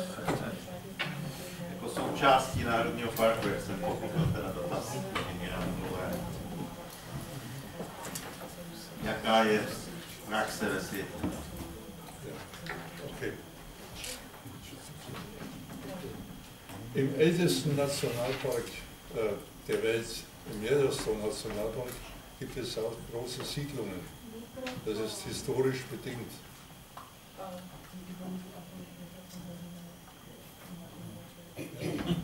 Am besten Deutsch? Soll ich das mit Deutsch? Im ältesten, ja, also im ältesten Nationalpark der Welt in Yellowstone gibt es große Siedlungen, äh, Touristenzentren und so weiter. Und das gibt es auch in anderen großen Nationalparken, in anderen Teilen der Welt. Deshalb ist die Wildniskategorie auf 75 Prozent beschränkt, damit man touristische Einrichtungen auf einer Fläche machen kann und Biotope, Kulturlandschaften, bestimmte Dinge auch erhalten kann in einem Nationalpark. Und das ist möglich bei einem großen Nationalpark. že v nejstarším národním parku Yellowstone. Má, a na jeho území leží jak obce, tak různá zařízení, tak různá zařízení pro turisty. a proto je v národních parcích cílem pouze 75 území bez zásahu, aby vlastně tam, na tom, aby vlastně tam bylo, byl prostor i pro turisty, biotopy, tou kulturní krajinu a podobně. Wenn man einen neuen Nationalpark einrichtet, wäre das falsch, wenn da Dörfer drin sind oder Siedlungen. Wenn man neue, zum Beispiel, wenn im Schwarzwald ein Nationalpark eingerichtet wird, ist keine Siedlung drin. Deswegen kann man natürlich prüfen, ob man einen bestehenden Nationalpark äh, kleiner macht und etwas herausnimmt und sagt, das gehört nicht mehr zum Nationalpark. Že by byla chyba, pokud je při vyhlašování nových národních parků, například uh, zmiňovaný Schwarzwald, uh, se součástí národního parku uh, staly právě obydlené oblasti a je otázka, jestli u stávajících národních parků uh, ty, uh, ty obydlené oblasti třeba z toho parku výjmou. Noch, noch ein wichtiges Element, das kann man an Finnland zum Beispiel sehen. Nationalparke werden, wenn die Fläche am besten in öffentlicher Hand ist, die darf nicht im Privatbesitz sein, sonst sind die Einschränkungen zu stark. In Finnland werden Nationalparke nur eingerichtet, wenn die Fläche vorher vom Staat gekauft wird und dann wird es ein Nationalpark. Uh, jeden příklad uh, z Finska, uh, kde území, na kterém leží národní parky, mají takovou zásadu, že jsou jako v, ve státních rukou a že pokud by tam vlastně to území bylo v soukromém majetku, tak z toho vyplývá mnoho omezení, takže se jako snaží, aby ta území byla státní. Faktická poznámka. Byl jsem v Yellowstoneském národním parku, znám ho dobře, žádné větší sídliště tam neleží, speciálně už ne historické, všechna sídla, všechna zařízení, která tam jsou vybudována, jsou dodatečně vybudovaná střediska turistického ruchu. Ano, ale já myslím, že to není takový rozdíl, jo? Důležitý, nebo nechci vykládat, co chtěl inženýr dlouhý jako slyšet, jo? ale jedná se o to, jestli teda může být nějaké to sídlo nebo nějaké to prostě lidské zařízení většího rozsahu v tom parku. Jo. Takhle asi to bylo. Bylo to tak? No. Prosím, tady pan doktor to zkusím doplnit, protože ono se stalo být modní v Evropské unii, ale vidíme i u nás v části vykládat, vlastně ochranu přírody, tu striktní ochranu, zeskloubit s tím socioekonomickým rozvojem vždycky a všude. To je nesmysl. To je nesmysl, já tím, že už jsem teď na volné tak můžu říkat, jak to je. A k tomu právě si myslím, je krásně ilustrativní ten systém kategorií IUCN, že podívejme se, jak jsou definovány ty kategorie. Jak je definována kategorie 2, já teď budu podle doktoru Báhovi v tom smyslu, že nikdy naše parky nemohou být v kategorii 2 IUCN, protože jí nemohou odpovídat a mimo jiné jí nemohou odpovídat, protože bohužel v těch velkých jsou ty obce, tím to nevyčítám obcí, že tam jsou, oni tam jsou historicky, ale to je prostě situace, kdy máme nějaké území s obcemi, my jsme tam vytvořili nějakou kategorii podle národní legislativy. A v rámci všech omezení, která vyplývají z existence těch obcí a z jejich požadavků na rozvoj a z mnoha dalších okolností a z naší platné legislativy, prostě vyplývá, že tam zajistit požadavky kategorie 2 pravděpodobně nelze současná státní politika je taková, že vracíme, nevracíme, ale dáváme obcím v těch parcích dokonce teď pozemky, které jsme pracně vykupovali posledních 20 let, čili je to úplně proti, proti celému světu, ale je to ve státě normální, takže to nás nepřekvapuje. Ale z tohoto důvodu, pokud bychom chtěli opravdu říct, že naše národní parky jsou kategorie 2, tak budeme ještě víc lhát, než lžeme teď neoficiálně. Takže to je tento náhled na věc. Tady se hlásili, ale nezlobte se, já teďko bych ještě, protože ty první čtyři otázky, on se nám to začíná košatit a podobně, já bych poprosil ještě dokončit. To znamená, doktor Bláha byl tázán na to, jak je to s těma původníma smrkama, respektive eh, s nepůvodníma a podobně. Čili na tohle to odpověď a samozřejmě je potřeba, když tak dořešit i tu otázku, teda teď sídel, když už teda to bylo a když se nám to takto rozkošatilo. A potom je potřeba ještě tady, co inženýr Zeman se, se dal, nebo tak, to znamená e, například. Na mě byly dvě poznámky, je to zapnuté. Prvně názor inženýra Urbana nepřebírat systém IUCN do zákona, protože je nedokonalý. Pak to tež vyjádřil i pan inženýr Zeman, který říkal, jako, ne, jako, že je to děravé a tak, to, tak by to bylo ještě horší, z čehož jsem pochopil, že jde o nedorozumění. Pak, jsem navrhoval, že by bylo dobré uh, uh, si zakomponovat uh, ten odkaz na systém IUCN do našeho zákona, pak jsem nemyslel tím nahradit všechny paragrafy o jednotlivých chráněných územích. Samozřejmě, že tam musí zcela zůstat základní ochranné podmínky, blížší ochranné podmínky, které jasně říkají, co je e, dovoleno a zakázáno.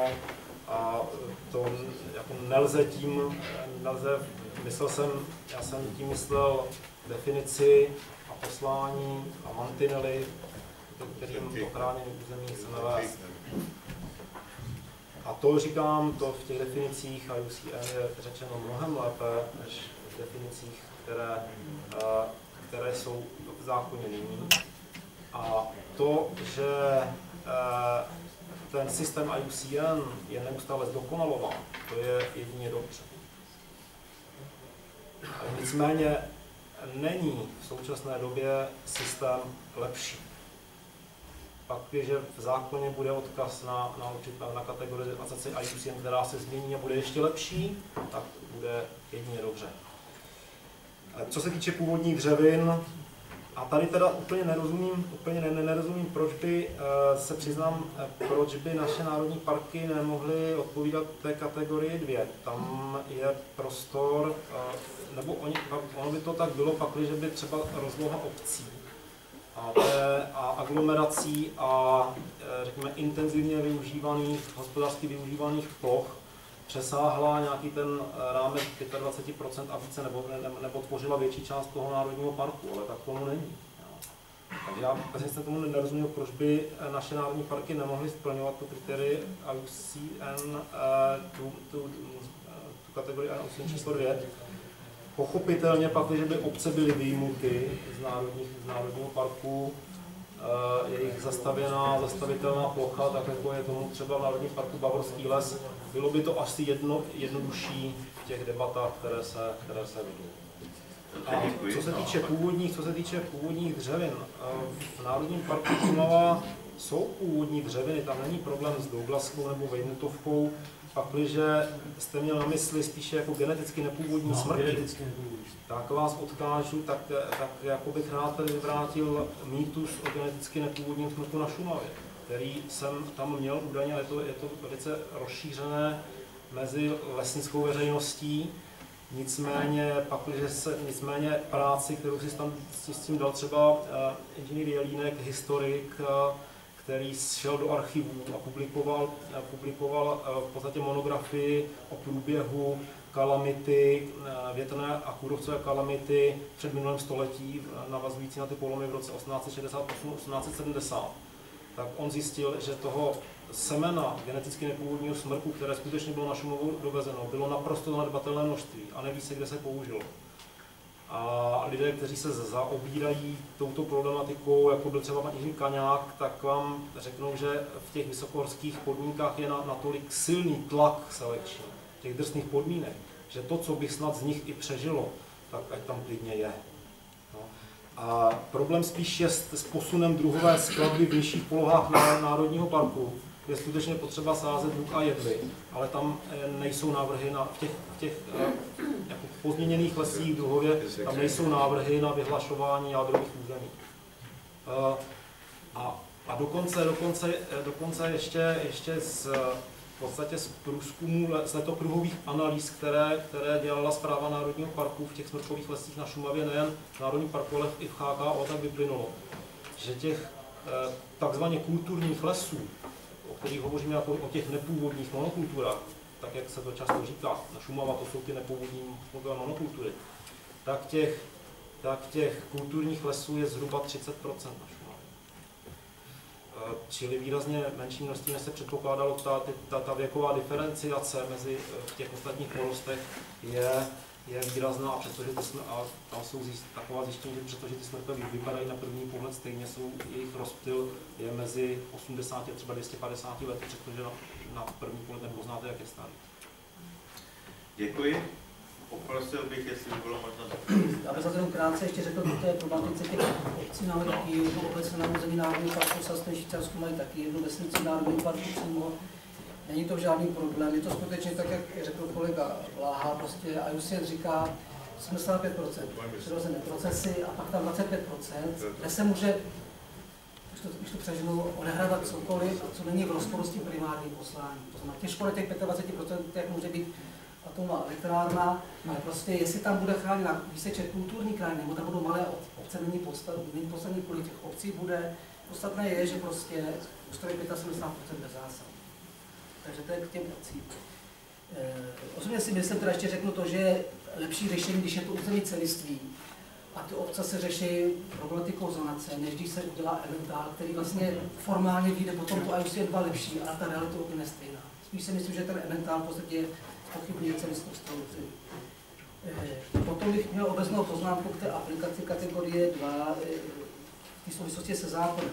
Já si myslím, že tady jedna rovina je obecná a pak ta praktická. V té obecné rovině já osobně, mi se ten systém taky líbí, připadá mi propracovaný, ostatně, jestli to funguje v Německu, ta kompatibilita, tak určitě není důvod, proč by to neexistovalo v jiných, nefungovalo v jiných zemích střední Evropy. Ale prostě pokud někdo řekne tohleto A, tak musí říct i B. Co by to v podstatě znamenalo pro naše legislativu, pro naše národní parky, například konkrétně. Vznikaly prostě historicky nějakým způsobem. Vidím tady kolegy z Krkonoš, Krkonošský národní park eh, prostě vznikl úplně na jiných principech, na principech biodiverzity, výskytu endemických druhů. Řada z těch vzácných druhů je vázána na prostě kulturní zásady a tak dále. Navíc, jak už řekla paní doktorka Vopálková, naše kategorizace v zákoně je postavena na předmětech ochrany, to znamená na hodnotách, se popisují ty hodnoty, co se tam chrání. To je důvod, proč tam není žádná kvantifikace, to se nelze kvantifikovat. Na rozdíl od toho, když definujete kategorii na základě toho, jakým způsobem to chráníte, to je ten management. A tam pak klidně můžete říct 75% nebo jiný číslo. A to, že říká kolega Vláha, že vlastně ty kritéria jsou kompatibilní, oni jsou kompatibilní s tou naší kategorizací právě z toho důvodu, že ta naše, naše kategorie jsou poměrně vágní. A takže by byly samozřejmě kompatibilní i s jinými národními parky, které by nesplňovaly kategorii. Takže pokud někdo řekne, že všechny národní parky by eh, odpovídat kategorie 2, tak pak ale je potřeba to B, že kolegové z třeba opraví, ale já si myslím, že by to nebylo možné bez územního vymezení, úpravy vymezení územního Speciálně třeba Krkonoše, když tady máme kolegy. Že je potřeba říct i tuhle tu druhou stránku věcí. No a pak bych se měl vyjádřit eh, k Českému Švýcarsku, co se týče požáru. To je velice zajímavá otázka, nechci to je rozebírat. Nicméně realita je taková, jak jste řekl, že velmi malá část těch požárů je založena přírodně bleskem, ale také případy taky máme. Nás zajímá spíš, jak se jiná otázka, že se ukazuje na základě posledních výzkumů, které máme, že je skutečně otázka, jestli v tomto území, kde jsou prostě převahou nějaké relikní body a tak dále, jestli se vůbec mluvit o přirozených procesech, pokud vlastně tam ty požáry pomíme. Protože poslední, poslední výzkumy ukazují, že to tam byl naprosto klíčový, klíčový faktor. A to, že jejich malá část těch přírodních, to je úplně jedno. Tam to mohlo být klidně jeden požár za 10 let. Ale prostě vtip byl v tom, že ho mělo nehlasit. To nebylo celý území rozlohy Národního parku, to mělo prostě pro tu dynamiku zásadní význam. A tím nechci zdržovat. A pak je ta rekonstrukce těch smrkových kultur. No, já tom nevidím rozpor s tím cílem kategorie 2. Tam je jediná otázka vlastně, jak se postavit k délce té rekonstrukce. Například v německé národní parky mají jednoznačně dáno, ale z jejich popolu, nikoli z IUCN, že přechodná doba smí být maximálně 30 let. U nás nic takového není, my sami dobře víme, že u nás to bude mnohem déle než 30 let. Ale pak je otázka, jak ten národní park vlastně kategorizovat v tomto iniciálním stádiu. Když máme pouze 5% zásahovosti, jestli se můžeme hlásit ke kategorii 2, to by zatím nikdo neobjasní. Ale je chybou, když se dělá někdy to, že parky, které ne, neobstojí v kategorii 2, se automaticky dají do sběrné kategorie 5. To je naprosto špatný, protože ta pětka říká, cílem v tomto území je udržovat kulturní krajinu a to my neděláme. My se snažíme tu kulturní krajinu předělávat ve směru kategorii. Děkuji. Možná ještě tam nebylo uh, ty vejmutovky, tuším. No já v tom nevidím prostě filozofický rozpor. Já si myslím, že prostě invazní a nepůvodní druhy jsou výsledkem lidské činnosti a o tady přítomnost u nás, ne ty druhy jejich přítomnost a jestliže my se snažíme je eliminovat, tak tím v podstatě eliminujeme nějaký předchozí lidský zásah. Takže v tom nemám jaksi filozofický problém ani v těch bezzásahových území toto dělat, ale měli jsme velkou uh, diskuzi se saskými kolegy, kteří řekli po diskuzích, ano, budeme uh, eliminovat vejmutovku a jiné invazní druhy, ale jakmile to provedeme a převedeme to do bezzásahového režimu, tak o to dáme ruce, o to dáme ruce pryč. Což si je prostě špatně, protože ten druh se bude vracet a prostě veškerá práce bude pryč. Hmm. No, takže to je velkých otazníků. Eh, hlásí se mě teď zase poměrně hodně lidí, takže jak to udělat? Inženýr Orbán, kolega, tam kolega, takže je toho moc. takže prosím, eh, uděláme takový... Já se vrátím, já se vrátím k takové teoretičtější otázce. Prosím vás, co se stane, když naše národní parky nebudou v kategorii 2? Co se stane? Záleží nám víc na nálepce anebo na způsobu ochrany přírody, způsobu, jakým chráníme přírodu. Podívejte se, rád bych věděl, kdo přiměje Angličany, aby zrušili svůj zákon o národních parcích a přístupu do krajiny z roku 1949, kde jsou definovány národní parky, a začnou svým národním parkům říkat jinak. To bych hrozně rád věděl, kdo je k tomu přiměje. Já jsem sám slyšel Aitka Clarka, zástupce v Europarku před lety, když se tomu velice usmíval, to, to je ředitel jednoho z národních parků anglických, který tehdy na federaci zastupoval Velkou Británii a usmíval se tomu a říkal, helejte, dělejte si na kontinentě, co chcete. My si budeme držet svůj zákon o národních parcích. Děkuji, já jenom k tomu podotknu, že existuje ten mezinárodní seznam a tam jsou ty kategorie, že jo, jo? takže tam se podívejte ale, schválně, jak to mají angličani. Dobře, ale no, co, ano, je tam pětka. A co se stalo Krkonošům, že jsou pětka?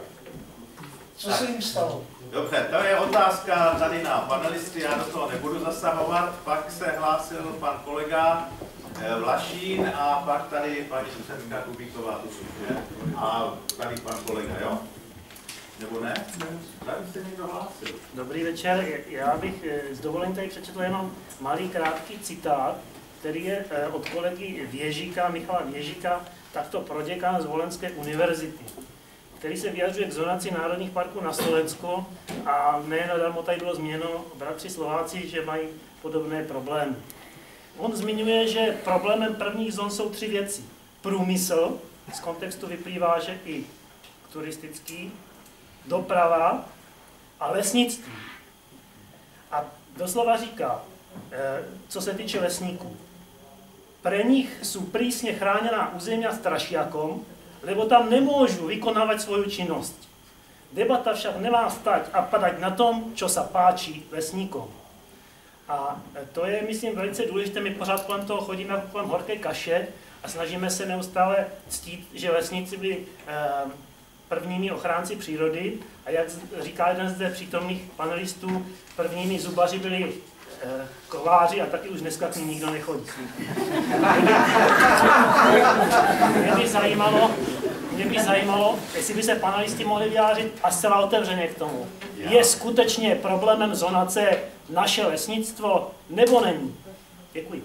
Takže to je samozřejmě otázka do diskuze. Já si myslím, ale že toto je trošku plošně zase jako neúcta, bych řekl, až trošku k lesníkům, protože jo, jako jsou tací, který prostě zastávají něco, co se naučili asi před 50 lety, ale jsou tací, který prostě už na základě dnešních poznání, tak, takže já bych to, prosím vás, pokud možno, tak to, kdyby jsme nějakým způsobem negeneralizovali. takže to byl takový náhled. Další, tady paní docentka ještě. A ještě jeden, jeden, jeden dotaz v této rundě a pak dáme slovo panu. No, jak tady sleduju tu diskusi, tak se mi čím dál tím víc jak si jeví to, že všechny národní parky, co tady máme, je každý jediný a každý má svoje specifika. Není možné podí srovnávat se Šumavou. Podí je prostě zvýční fenomén, suťové lesy, které jsou většinou přirozené, to Šumava je úplně něco jiného, hercinské pohoří. Není možné srovnávat Šumavu s českosaským Švýcarskem, protože to jsou vápencové stěny, že jo, s křídové, křídové teda vápencové, pískovcové stěny. A prostě je třeba, abychom se na tu věc podívali úplně novým způsobem. Aby se snad sešla nějaká komise skutečných přírodovědců a lesníků. Já ty lesníky bych z toho nevýjímala, protože lesníci jsou velice vzdělání a zkušení stejně tak jako ostatní přírodovědci a, a právníci. A prostě podívat se na ty cíle, jak jste o tom mluvil, na ty cíle těch jednotlivých národních parků novým způsobem přesně definovat a podle toho tedy vlastně ním směřovat. A jestliže v Českosaském Švýcarsku jaksi konsensus je, že ta vejmutovka by se měla omezovat, což je invazní druh, tak proč se tady pořád vyhýbáme tomu, že na Šumavě jako invazní druh je kůrovec, proti kterému se musí bojovat jako proti vejmutovce. No to je prostě jenom jiný typ, jiný typ organismu. A ten kůrovec se opravdu stal invazním. Paní to je zajímavý váš náhled. Slovo do hranice, já myslím, že tady vám jako řeknou, jestli teda patří ten kůrovec na tu do těch horských smrtových lesů nebo ne, myslím, že se hlásí k vás Vydolvíte, takže možná, že jako, kdyby si přibral zatím odpověď a já ještě jednu, jednu otázku, kdyby někdo měl, takže jsme... Takže nejsou momentálně otázky, čili já bych dal slovo panu doktoru, doktor Vydolvíte, if you can explain. Versteht sie mich? Ja. Ich möchte noch einmal deutlich machen, worum es in einem Nationalpark in erster Linie geht. Es geht darum, dass dort der Mensch nicht nutzend eingreift, nicht wirtschaftlich nutzt. Bäume, Boden, Moore oder sonst etwas. Im Bayerischen Naturschutzgesetz von 1973 wurde schon festgeschrieben, Nationalparke dienen keiner wirtschaftsbestimmten Nutzung. Das heißt, ich kann dort Tourismus betreiben, ich kann, Menschen können dort unterwegs sein, das kann ich alles machen, aber ich darf nicht die Moore abbauen und die Bäume fällen auf der Fläche. Das ist der entscheidende Punkt für Nationalparke. Und wo das nicht gemacht wird, ist es kein Nationalpark nach den heutigen Gesichtspunkten.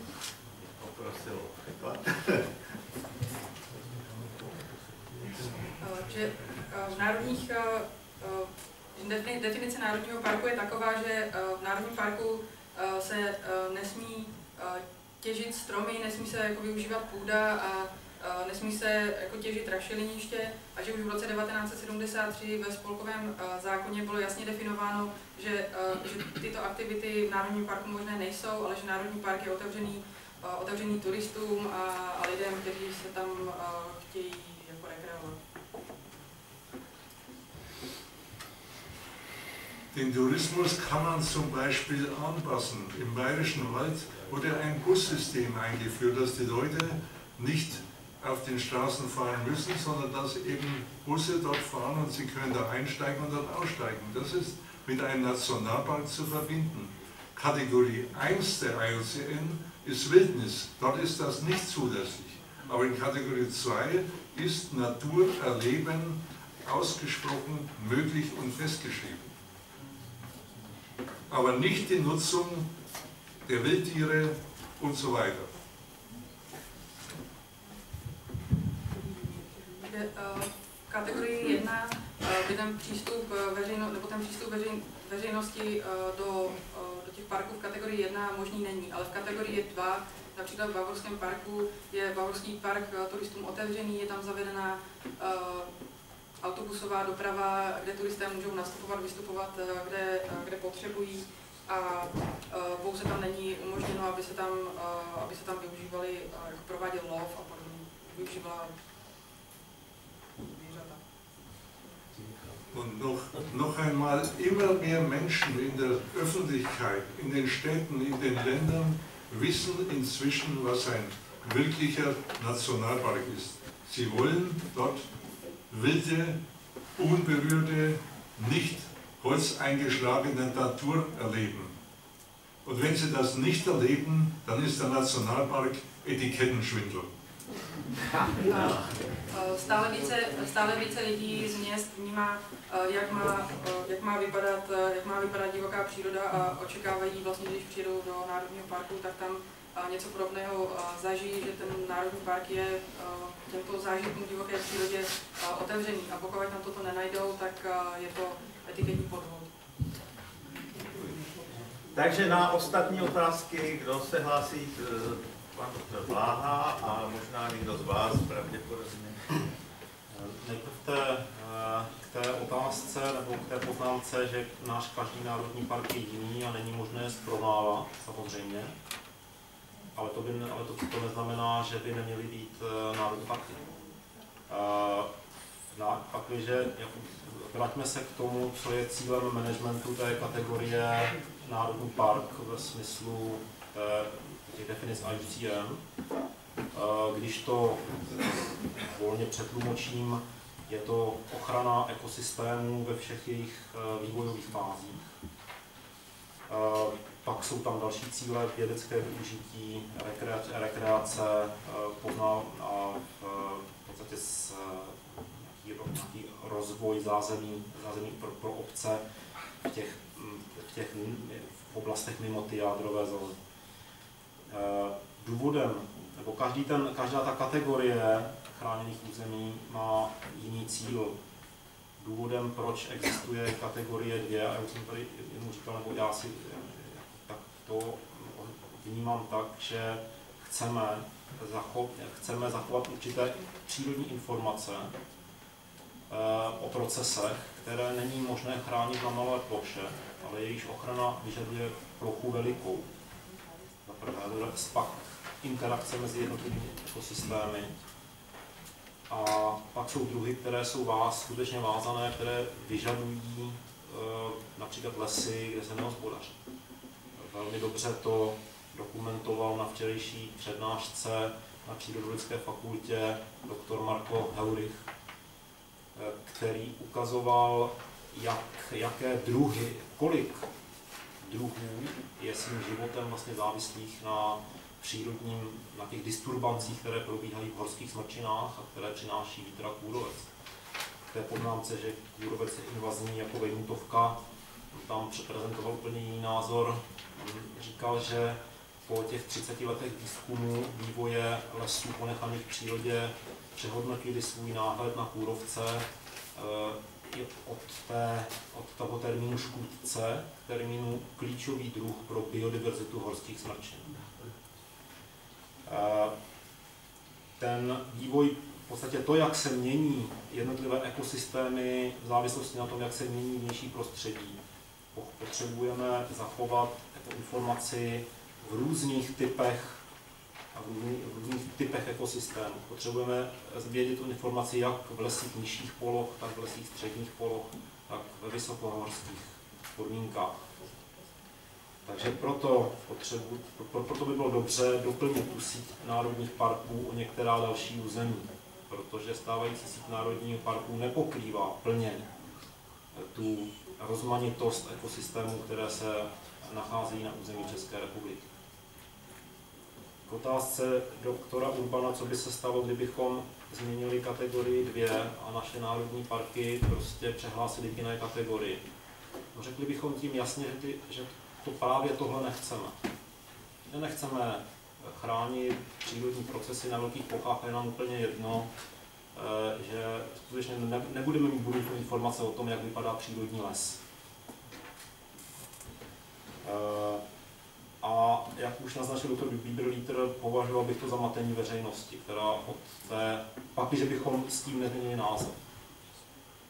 Pak, když bychom zachovali název Národního parku a změnili kategorizaci, kategorii, tak uh, uh, a v podstatě potvrdili to, že, že nám jde o využívání dřevní hmoty například na části území nebo na, na větší části území, že, se že nám stačí 20% rozlohy Národního parku, proto bychom ochránili přírodní procesy na menším území a jinde chceme využívat dřevo, tak bychom tím potvrdili, že e, e, nicméně veřejnost, jak jsem říkal, očekává něco jiného. Inženýr Hartel a potom pan To je otázka pana inženýra Urbana, která myslím byla formulována trochu jinak. Pan inženýr Urban se ptal, proč, proč, co hodí k konošům na tom, že nejsou v kategorii 2 a což je naprosto legitimní otázka a já myslím, že se dalo odpovědět jako si na inverzní otázku, spíš o, ano, na inverzní otázku, co je dobrého na tom, když ty národní parky jsou v kategorii 2 a víme, že jsou v tady těch kategoriích.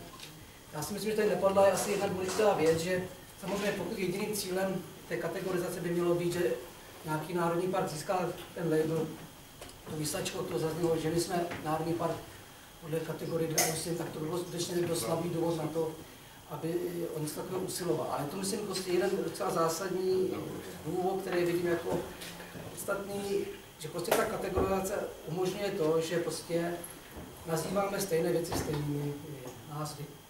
To znamená, že eh, eh, jak si pokud národní park, tak eh, víme na mezinárodním měřítku, o co se vlastně jedná, co si pod představit.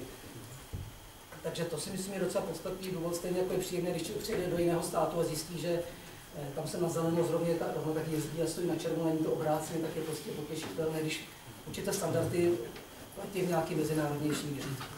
Ale znovu opako to, co jsem říkal, na jedné místě Bach je prostě výhoda tohoto systému a na druhý stránce Bach je prostě říct, co by to znamenalo, kdybychom to například v národních parku chtěli důsledně důsledně uplatnit eh, v České republice. Jaký změny by to třeba legislativně a další eh, představovalo?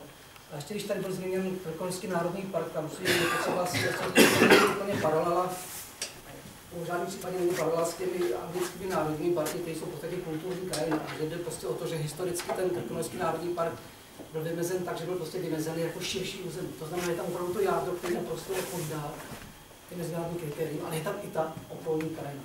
A v takových případech někdy některé národní parky to řeší v tom seznamu, že se vlastně kategorizují formálně jako dvě území. To znamená například první, druhá zóna je IUCN 2 a zbytek potom, i potom třeba IUCN 5 nebo jiná kategorie. Tahle, mož, možnost IUCN připouští, ale je potřeba se zároveň říct, že to nese samozřejmě určitá rizika, protože vlastně ten, ten park se jakoby dělí na dvě, na dvě části a může být inspirace potom taky to i na národní úrovni.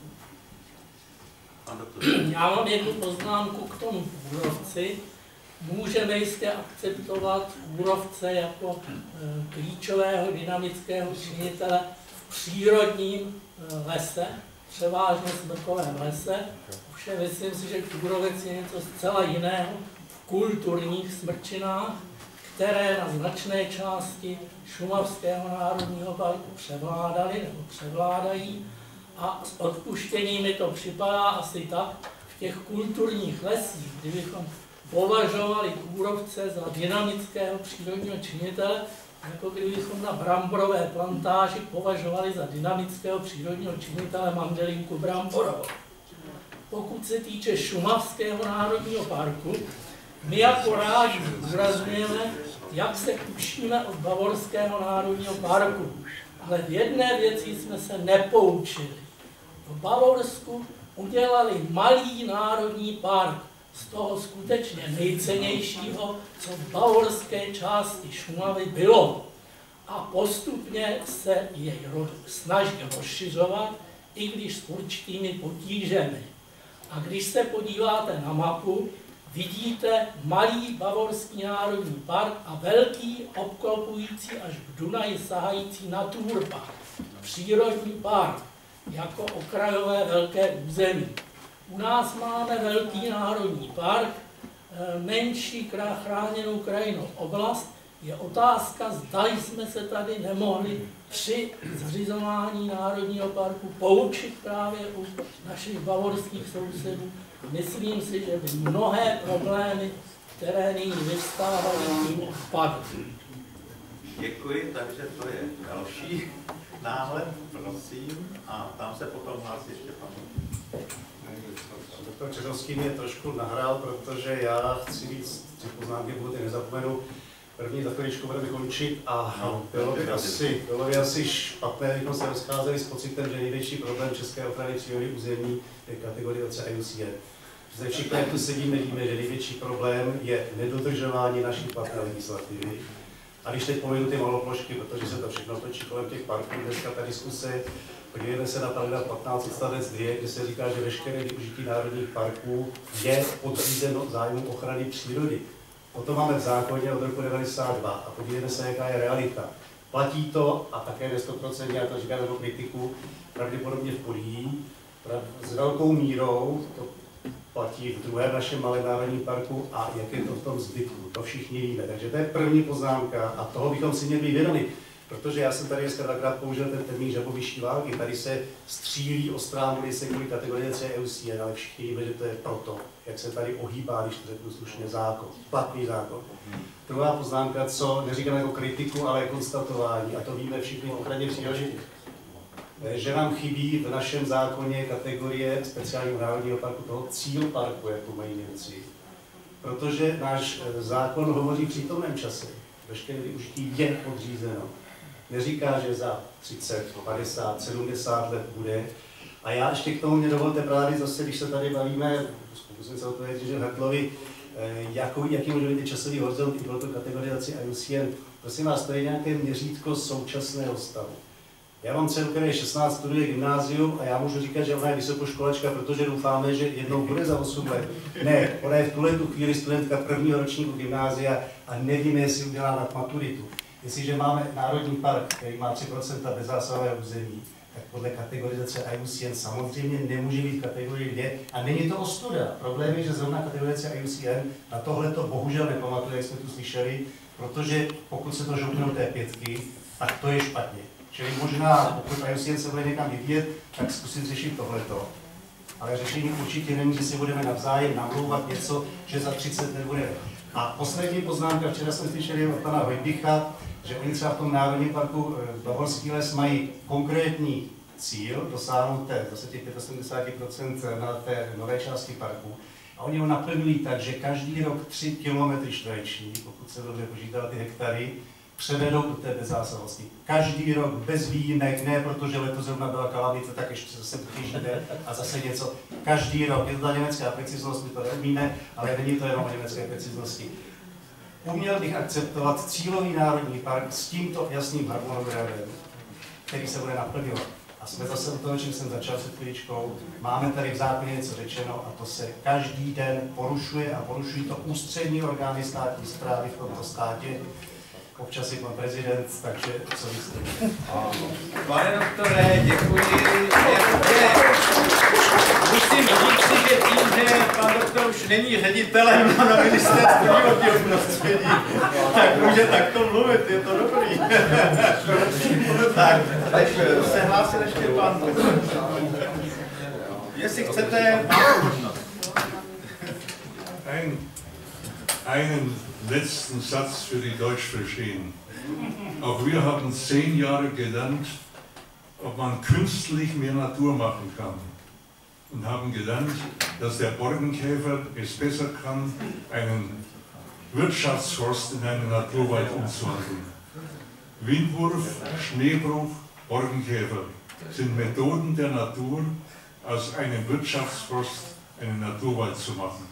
Und das ist Ziel eines Nationalparks. pro, uh, původně teda pro německý mluvící, ale pokusím se to přeložit. Uh, hlavním, nebo velmi dlouho jsme se učili, jak přeměnit hospodářský les na les přirozený. A zjistili jsme, že to moc neumíme a že tím, kdo to umí, je právě kůrovec, polomy a různé sněhové, sněhové zlomy. Že tímto způsobem se ten, se ten přírodní les obnoví dle našich zkušeností. Takže děkuji.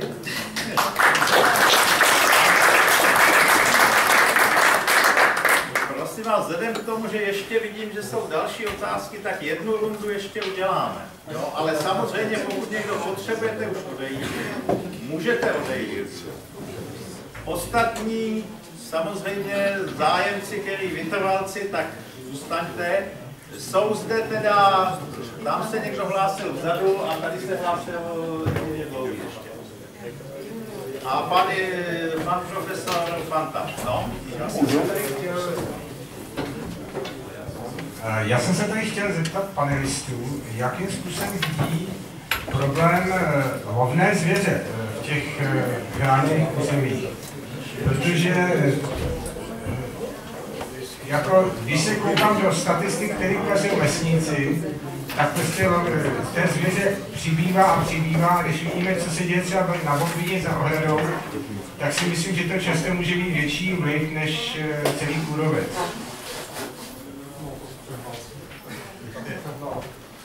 Takže to je jeden, jedna otázka do pranice a pan profesor Fanta se hlásil. A myslím ještě vzadu někdo. Já si myslím, že na, zá, na závěr té diskuse jsme se trochu přiblížili tomu základnímu problému, s kterým my máme co dělat. Ale ještě jsme ho naplno nepojmenovali. Slyšeli jsme, že u nás jde o nedodržování zákonů. Druhým problémem, který my máme v této společnosti a i v této malé společnosti, že se velice rádi zabýváme různými detaily, ale naprosto nejsme schopni řešit věci na koncepční úrovni. A tak se teda tady můžeme desetkrát dohadovat, proč jsme nezačali zakládat národní park na eh, rozloze 3 eh, nebo 30 tisíc hektarů. Samozřejmě si musíme uvědomit, že to, co si mohou domluvit, dovolit kolegové v Německu, tak v této zemi z politických důvodů není možné. Kdyby se na to šlo v tom 91. roce takto, tak jsme neměli žádný šumavský národní park. Je potřeba si toto jasně uvědomit. Československu tehdejším bylo nutné vyjít z jednorázového rozhodnutí.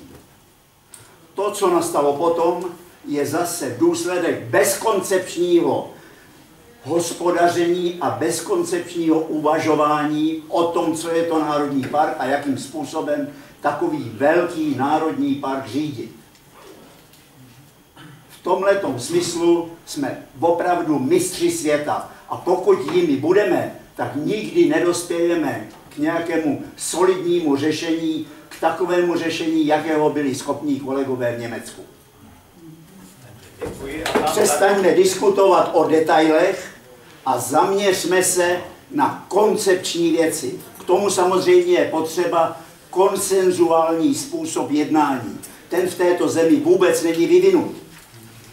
Zúčastněte se jakéhokoliv jednání, výsledkem jsou jenom konfrontace. Dokud se toto naučíme, nebude výsledek žádný. Ano.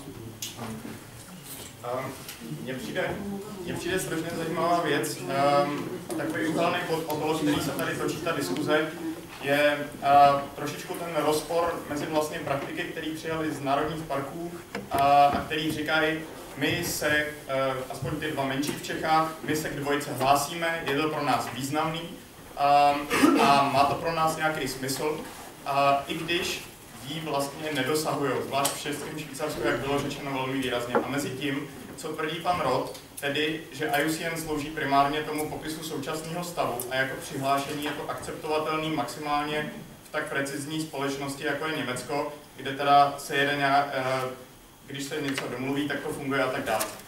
Mě by zajímalo, jestli to náhodou není tak, že v Čechách ta preciznost toho přihlášení se k tomu cíli nejde, protože a by to vlastně podlomilo akceptanci starostů a, a vztah zprávy parku a regionu.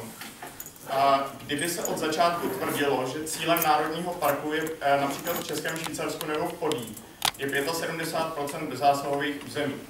A mnoho z nás tady ví, že v Krkonoších se minimálně posledních 10-20 let řada lesníků snaží opravdu o obnovu přírodních lesů a že je tam jasný na správě parku domluvený cíl jednou ty lesy nechat bez zásahu.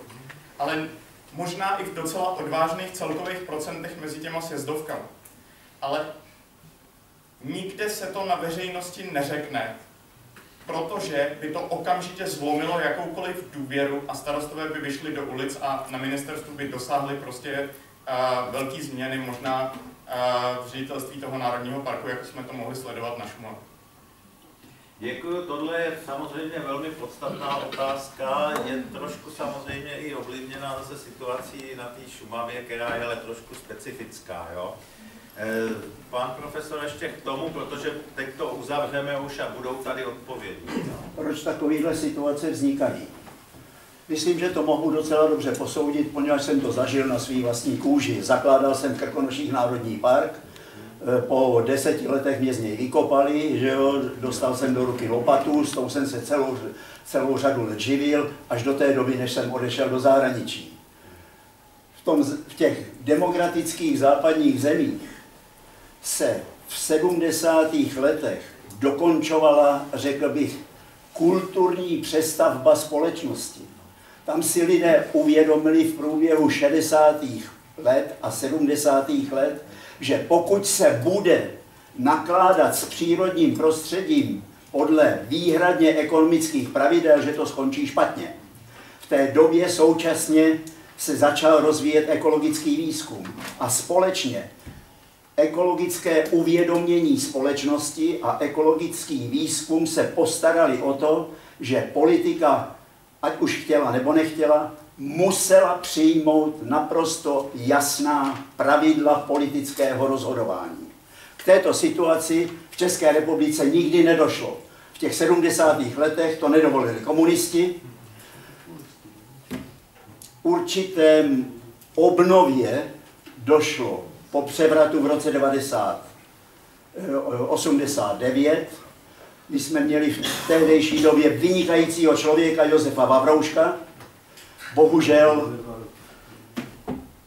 se nám nezachoval a na jeho místo se protlačil Klaus se svými vysloveně ekonomickými názory. Výsledkem je, že tato společnost nikdy nevzala péči o přírodní prostředí a o přírodu, o krajinu jako součást své kultury, obecné kultury. Výsledkem je, co máme teď, na nejnižších úrovních ve společnosti až do té takzvané politické elity. To jsou z hlediska ekologického v naprosté většině případů naprostý negramotní lidé a ti nám rozhodují o tom, jak, co se má dělat s českou přírodou. Takže myslím, že už ty zásadní otázky byly. Pokud ještě někdo má skutečně poslední otázečku a jedeme poslední, uh, poslední rundu odpovědí. Já bych to spojil zároveň s tím, že kdo budete odpovídat, že to bude i vaše závěrečné slovo, protože rád bych všem vám dal.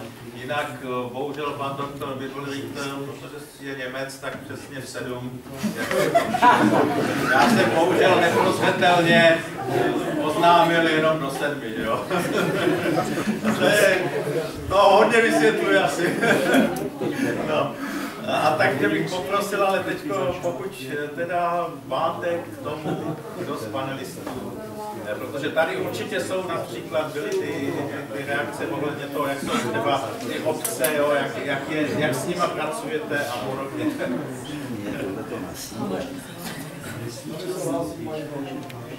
Ještě otázka? Tak ještě poslední otázku. jsem like, je to taková drobnostka, ale taky souvisí s tím, s tou přírodou ochranou. U Mličovského lesa Praha 4 už No. je schválená 2 km od lesa silnice, to bude dálnice. U rybníků, který už vysychají, vysídliště, nad Vysílačskou přehradou jsou naplánovány osmiposchodilní hotely a další budovy. Tak by tam měl být nějaký ochranný pásmo všech těch chráněných drobnůstek relativně. Jestli je nějaká pomoc, jestli odborníci Aha, tak já myslím, že to necháme na, na to, já bych poprosil, kdo ví radu, aby tam na kolegyni, jo, jako jí teda se snažil pomoci, protože toto jsou velmi časté, bohužel, otázky. Takže prosím, poslední runda, kdo chce začít. Eh, Možná, že začneme teda kolegama z Národních parků, oni budou možná muset asi odcházet taky, že? Já jenom, já jsem chtěl reagovat na tu, na tu pochybnost a o, o tu řeč, na tu řeč, že hrozí, že starostové bez určitých okolností vyšli do ulic. Já myslím, že v tomto případě ty obavy eh, nemusíme sdílet.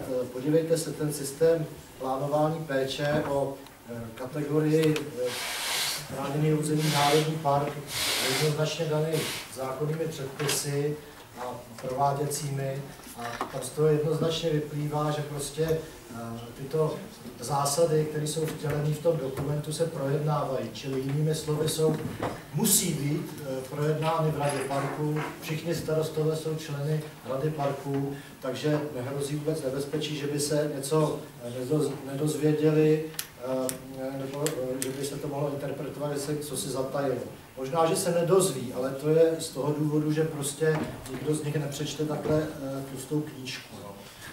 Ale eh, to říkám jenom zodpovědně na základě zkušeností z loňského roku, kdy jsme druhý rok ze starosty projednávali eh, plán péče.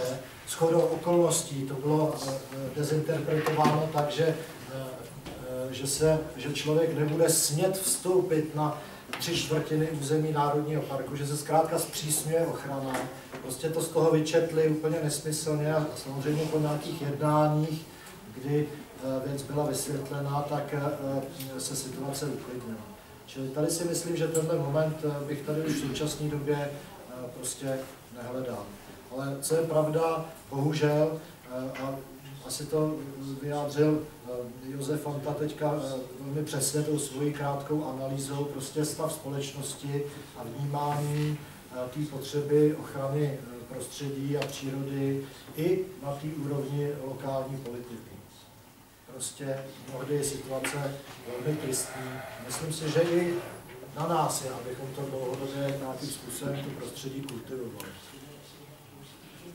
Na to reagoval, protože si myslím, že jakoby to jsou úplně jiné kategorie, tyhle ty listnatý uh, národní parky, kdyby jsme měli uh, Křivoklácko a ta Šumava případně třeba i s Českým švýcarským jeseníkama nebo, nebo, uh, nebo Krkonošema, co se týče těch emocí. To je všecko, co k tomu chci říct. Možná Českosaské Švýcarsko nám zazní teď. Abych zareagoval na to, vlastně proč jsme neměli v Národním parku při projednávání plánu péče v podstatě žádný problémy s tím, že jsme tam natvrdo napsali, že se hlásíme k té kategorii a že chceme mít nejen 75, ale dokonce ještě víc procent zásahového jako cílu. Já ty, ty důvody vidím ve třech rovinách. Eh, První eh, rovina je ta, že například ve srovnání s Šumavou, my tam neřešíme to základní dilema v těch smrčinách, jestli prostě to ponechat eh, kůrovci, nebo zasáhnout a tím celý ten proces zase na hodně, hodně, hodně v podstatě odsunout. My prostě transformujeme smrkové monokultury do nějakého přirozeného lesa, takže ochranu proti kůrovci děláme až na malé výjimky. A tím pádem vlastně ten problém je úplně v jiné rovině. Takže to je jedna věc, že eh, tam není, není, není v tom regionu nějaký strach eh, z toho, že bychom nechali skutečně toho kůrovce na, na velkých plochách. Což je prostě tím, že se nachá- nacházíme v úplně jiných podmínkách než na té Šumavě. Druhá, druhý důvod je eh, už daný tím asi, jak jsme tomu přistupovali my jako zpráva Národního parku, a to je ten, že jsme od začátku jasně deklarovali, že tohleto rozšiřování bezzásahových území nebude mít žádný vliv na zonaci ve smyslu zákona 114. To znamená, my tam máme nějaký 20% první zóny, to je ta zóna, která má jediný význam pro lidi v tom, že nesmí chodit mimo značené cesty v této první zóně, tam žádná jiná v podstatě eh, konsekvence není.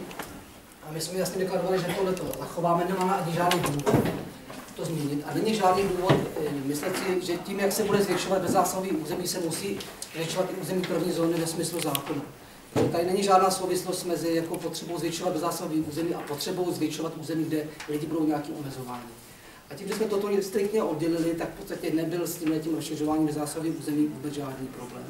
No a třetí důvod si myslím je trochu psychologický a ten spočívá v tom, že v našem případě to je hodně daleká perspektiva. A pokud prostě je nějaký cíl, který se mm, klade minimálně 50 let, tak spoustu lidí to moc netrápí, protože se toho třeba ani nedožijí. Takže tenhle ten, tenhle ten faktor si myslím, že taky, taky hraje určitou roli, možná i uvnitř kolektivu zprávy parku, kde řada lesníků, kteří dřív dělají normální provozy, nemají s těmito cíly vůbec žádný problém. Myslím si, že to je i z části tím, že to je hodně daleká perspektiva, to říkám naprosto otevřeně.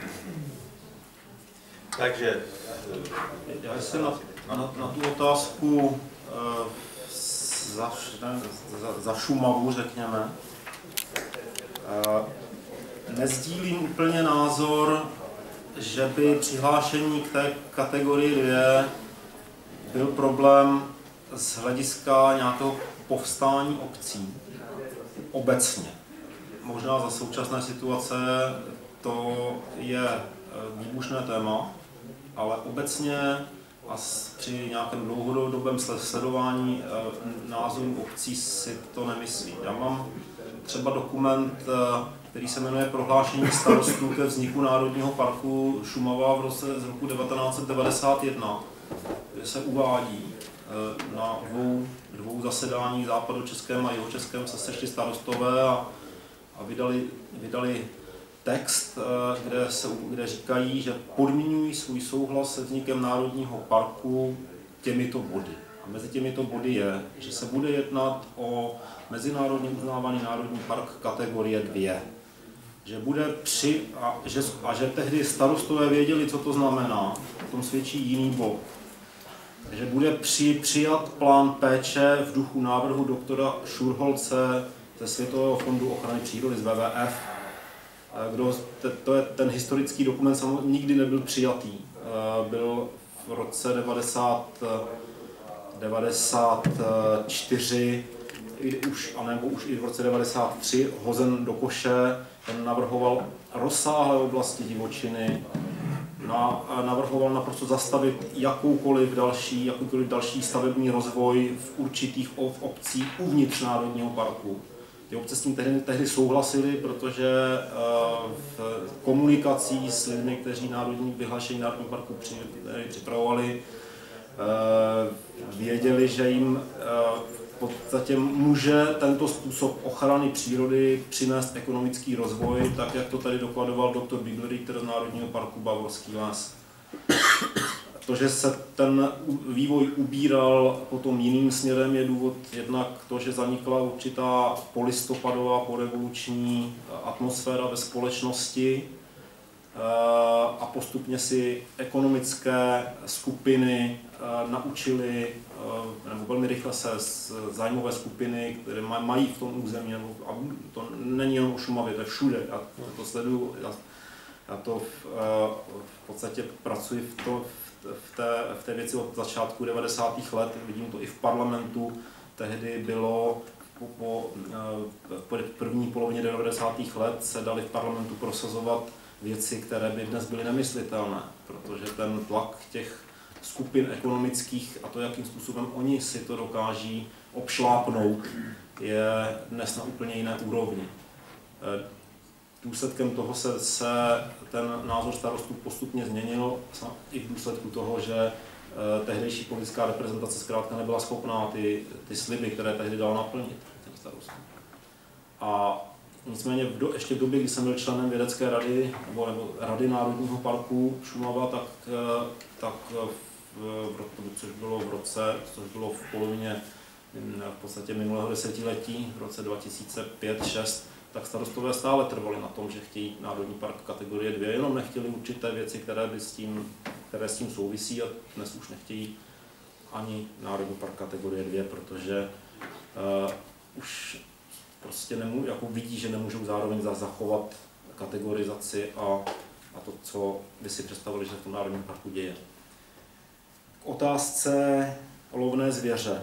Tady asi možná bylo dobře ještě, kdyby možná zodpovědět další z panelistů, ale aby to nezapadlo, to je oříšek mnohem větší než kůrovec z hlediska, z hlediska uh, zboubí, že? ne, skutečně. V podstatě zase, zase já se omlouvám, uvádím ty příklady ze, ze Šumavy, protože tam to znám nejlépe. Tam, tam, když se podíváte na výsledky expertní mise z roku 2002, tak v těch doporučeních nich jasně uvedené, že je potřeba z jádrových oblastí vyloučit lov. Prakticky to znamená přejít na, na, na management zvěře eh, redukcí eh, v oblastech mimo jádrová území, a což se prakticky dá realizovat eh, tak, jak to dělají v Národním parku Bavorský v nějakých, nějakých k tomu vytvořených obůrkách, tam ta zvěř se stáhne, oni tam zredukují a pak je zase vypustí ven. Uh, nicméně pokud vím, tak i na půdě IUCN se o, o tom vede, je to jeden z těch velmi sporných bodů, že tohle není uh, úplně jasné, ale možná pan doktor Češovský by k tomu, k tomu řekl, řekl víc. A ještě a poslední bod, který tady nebyl zodpovězený, je otázka, zda by nebylo lepší, kdyby ty národní parky byly malé, že tam se pak eh, ta kritéria dodržují lépe, jestli to nebylo přehnané, že třeba v případě Šumavy se vyhlásil Národní park Velt. A osobně jsem toho názoru, že nikoliv, ba právě naopak. Eh, ten důvod, který třeba pan doktor Čeřovský uváděl, na který podle něho mluví pro menší národní park, je je ta skutečnost, že lesy na Šumavě, že je tam ta pozměná druhová skladba eh, ve prospěch smrků i v těch nižších polohách. Já jsem už tady říkal o tom, že, že je nelze označovat paušálně za, za kulturní lesy, kulturní smrčiny. Nicméně je faktem, že v nižších polohách prostě chybí buk a jedle a jed jsou to lesy, které mají pozměněnou druhovou skladbu. Jednak z hlediska těch, toho stávajícího vývoje Národního parku, i kdybychom vyhlásili, já na tom mám podklady mapové, kdybychom v tuto chvíli eh, dali do první jádrové zóny s bezzásahovým režimem všechny, pouze horské smrčiny, které jsou klasifikované jako horsk, skutečné horské smrčiny, tedy kde není smrk, eh, eh, kde ne, nemůžeme hovořit, hovořit o nějaké jako druhově změněné skladbě, kdybychom tam dali rašeliniště a další určité specifické cené biotopy.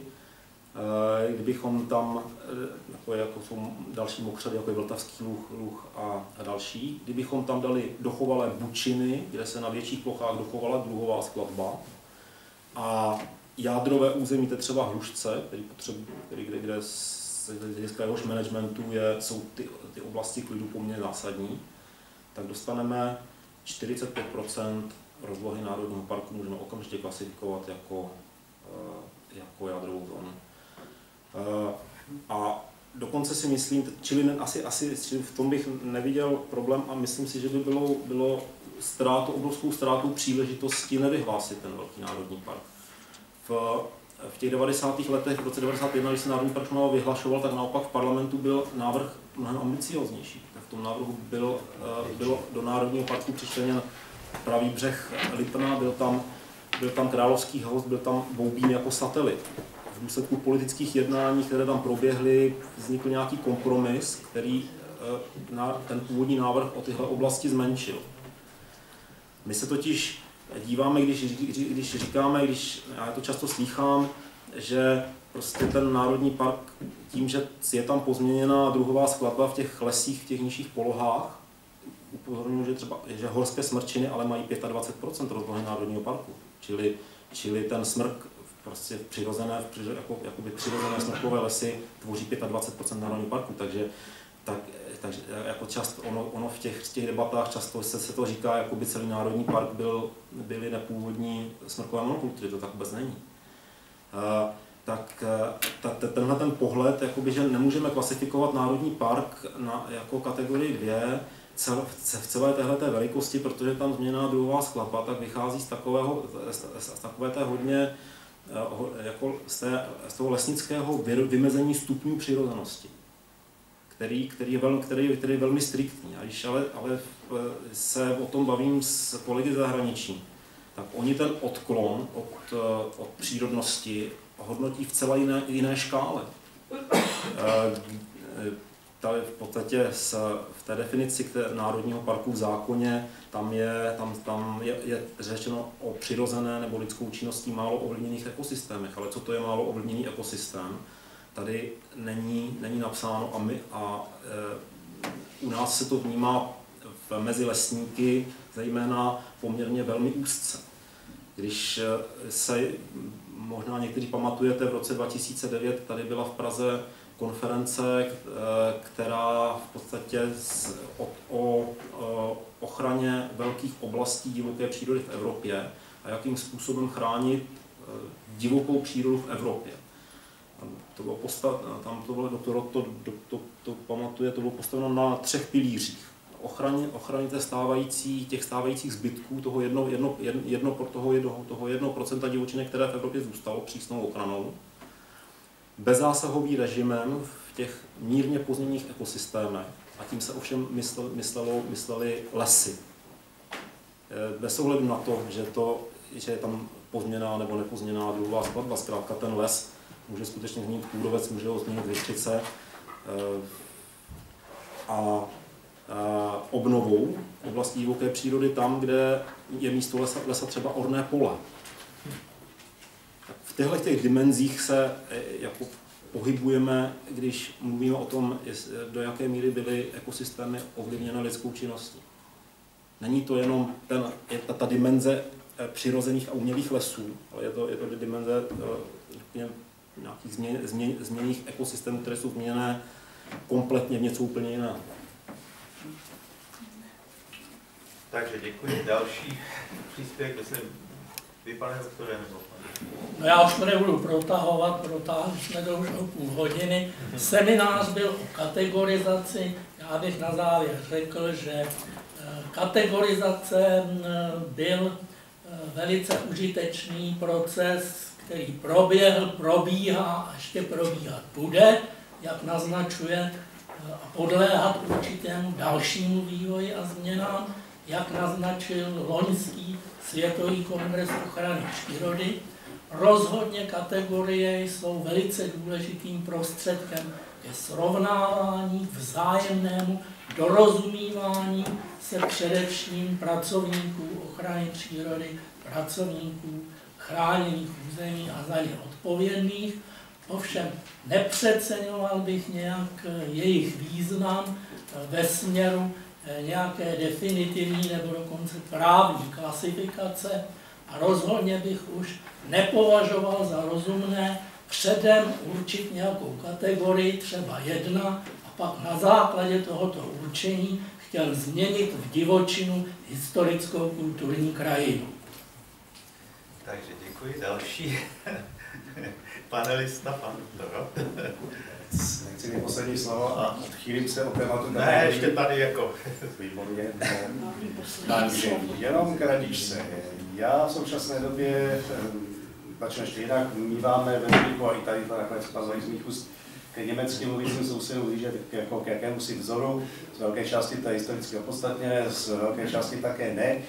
A já k tomu si říct jednu věc. Já teď zpracovám v rámci malého týmu pro Evropskou komisi hodnocení e, účinnosti Natury 2000 v celé Evropské unii, takže jezdíme po různých státech Evropské unie a ptáme se na problémy. A komise chce spíš řešení, a to teď není podstatné. Eh, byl jsem v prosinci v Německu a v Rakousku na různých místech a spontánně mi němečtí a rakouští kolegové říkali, náš největší problém je, že když jsme zaváděli na túru po roce 90. v Rakousku a předtím ještě v Německu, tak jsme říkali to, co nám doporučila Evropská komise, že vlastně natura neznamená žádná omezení, že to je jenom jako takový stupeň soužití člověka a přírody a že vlastně to nebude vůbec nic pro ty vlastníky znamenat. Vrací se nám to teď dnes a denně, protože lidé vědí, že jsme jim lhali. A já to říkám proto, abych ještě reagoval na slova tam toho mladého kolegy, protože si myslím, že to je strašně, strašně významné, co on řekl. Já směřuju k transparentnosti jako k kulturnímu aspektu, o tom se vám tady mluvil, ale přikivuje, souhlasí s tím, my neumíme být transparentní, historicky to neumíme, ale je to obrovská chyba. Já s vámi naprosto souhlasím, už nemůžeme změnit tu historii, ale my jsme od začátku v ochraně přírody, teď myslím po roce 90, neříkali spoustu věcí, protože jsme předem věděli, že kdybychom je řekli, tak by se nám to jednoduše nepovedlo prosadit. A prosazovali jsme mnoho věcí silou, i když to nebylo samozřejmě násilím, a teď se nám to vrací. Počínaje přijetím zákona 114, mnozí znáte historiku, jakým způsobem se změnil jednací řád parlamentu, aby mohl být zákon prosazen a vrací se nám to od té chvíli dnes a denně. Moje největší poučení z své profesní práce je, že snažit si usnadnit cestu tím, že něco zamlčím na začátku, je cesta do pekla. A jestliže chci skutečně něco trvalého prosadit, musím přesvědčit lidi, musím být otevřený s tím rizikem, že se mi to pravděpodobně na poprvé nepovede a že se mi spousta věcí nepovede, ale to, co se mi podaří, tak potom má nějakou trvalou hodnotu. Tohle si myslím je další náš obrovský problém ochrany přírody. Na Šumavě jinde doplácíme na to, že jsme před 20 lety co si neřekli, někde jsme zalhali, ale někde jsme jenom neříkali všechno. A vy jste to velmi krásně pojmenoval.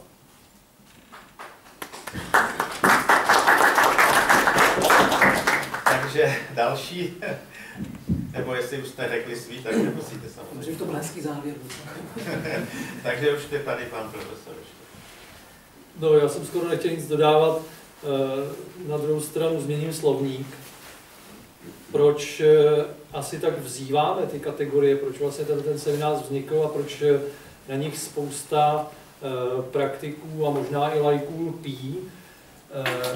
Já si myslím, že to je něco jako potřeba. Jo? Potřebujeme se chytit něčeho, co si myslíme, že se nedá narušit, co je někde pevně zakotveno a pak se ukazuje, že to není zakotveno, protože se na tom stále pracuje, eh, protože se to bude vyvíjet, eh, což je samozřejmá věc, protože se to paradigma stále vyvíjí. A eh, my tu přírodu pořád bereme nějak stále hodně jakoby materiálně, ať už hovoříme o tom, že to nese nějaké peníze, nebo že je to ekosystém a že je v tom nějaká informace. Takže teď změna toho slovníku. Stejně jako máme kulturní dědictví, tak máme i dědictví přírodní.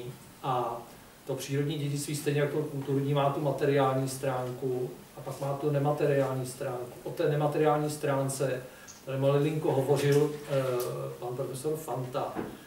A eh, já si myslím, že tady nepadla slova, která bychom měli vždycky za tím, proč chceme tu přírodu chránit, eventuálně co v ní a jak. Eh, slova, která eh, by měla být eh, tím hlavním hnacím mechanismem. Ta příroda stejně jako kulturní památky, vezměte si třeba kostel, že jo.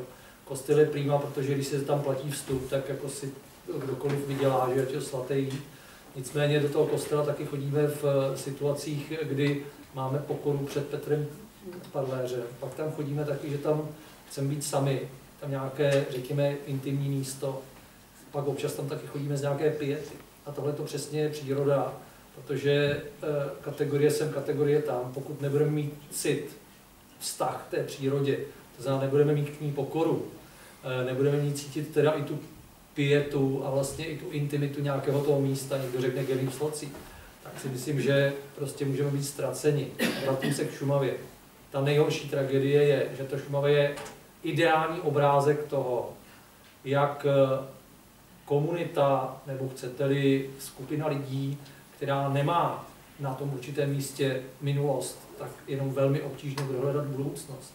Čili je to otázka toho, do jaké míry, a to není nic proti těm lidem, prostě to byla historická situace, kdy tam tu zmizelo obyvatelstvo, které by se patrně k té krajině chovalo nějak jinak. Teď je tam prostě obyvatelstvo, které se chová, protože nemá ještě k tomu místu vztah.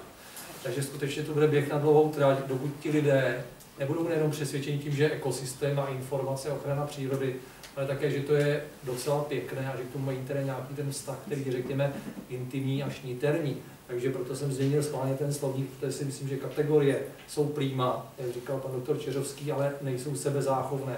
My v tu sebezáchovnost chováme, protože pořád ještě neumíme ty, řekněme, nemateriální věci promítnout do nějakých našich plánů, do nějaké naší budoucnosti o ochraně přírody.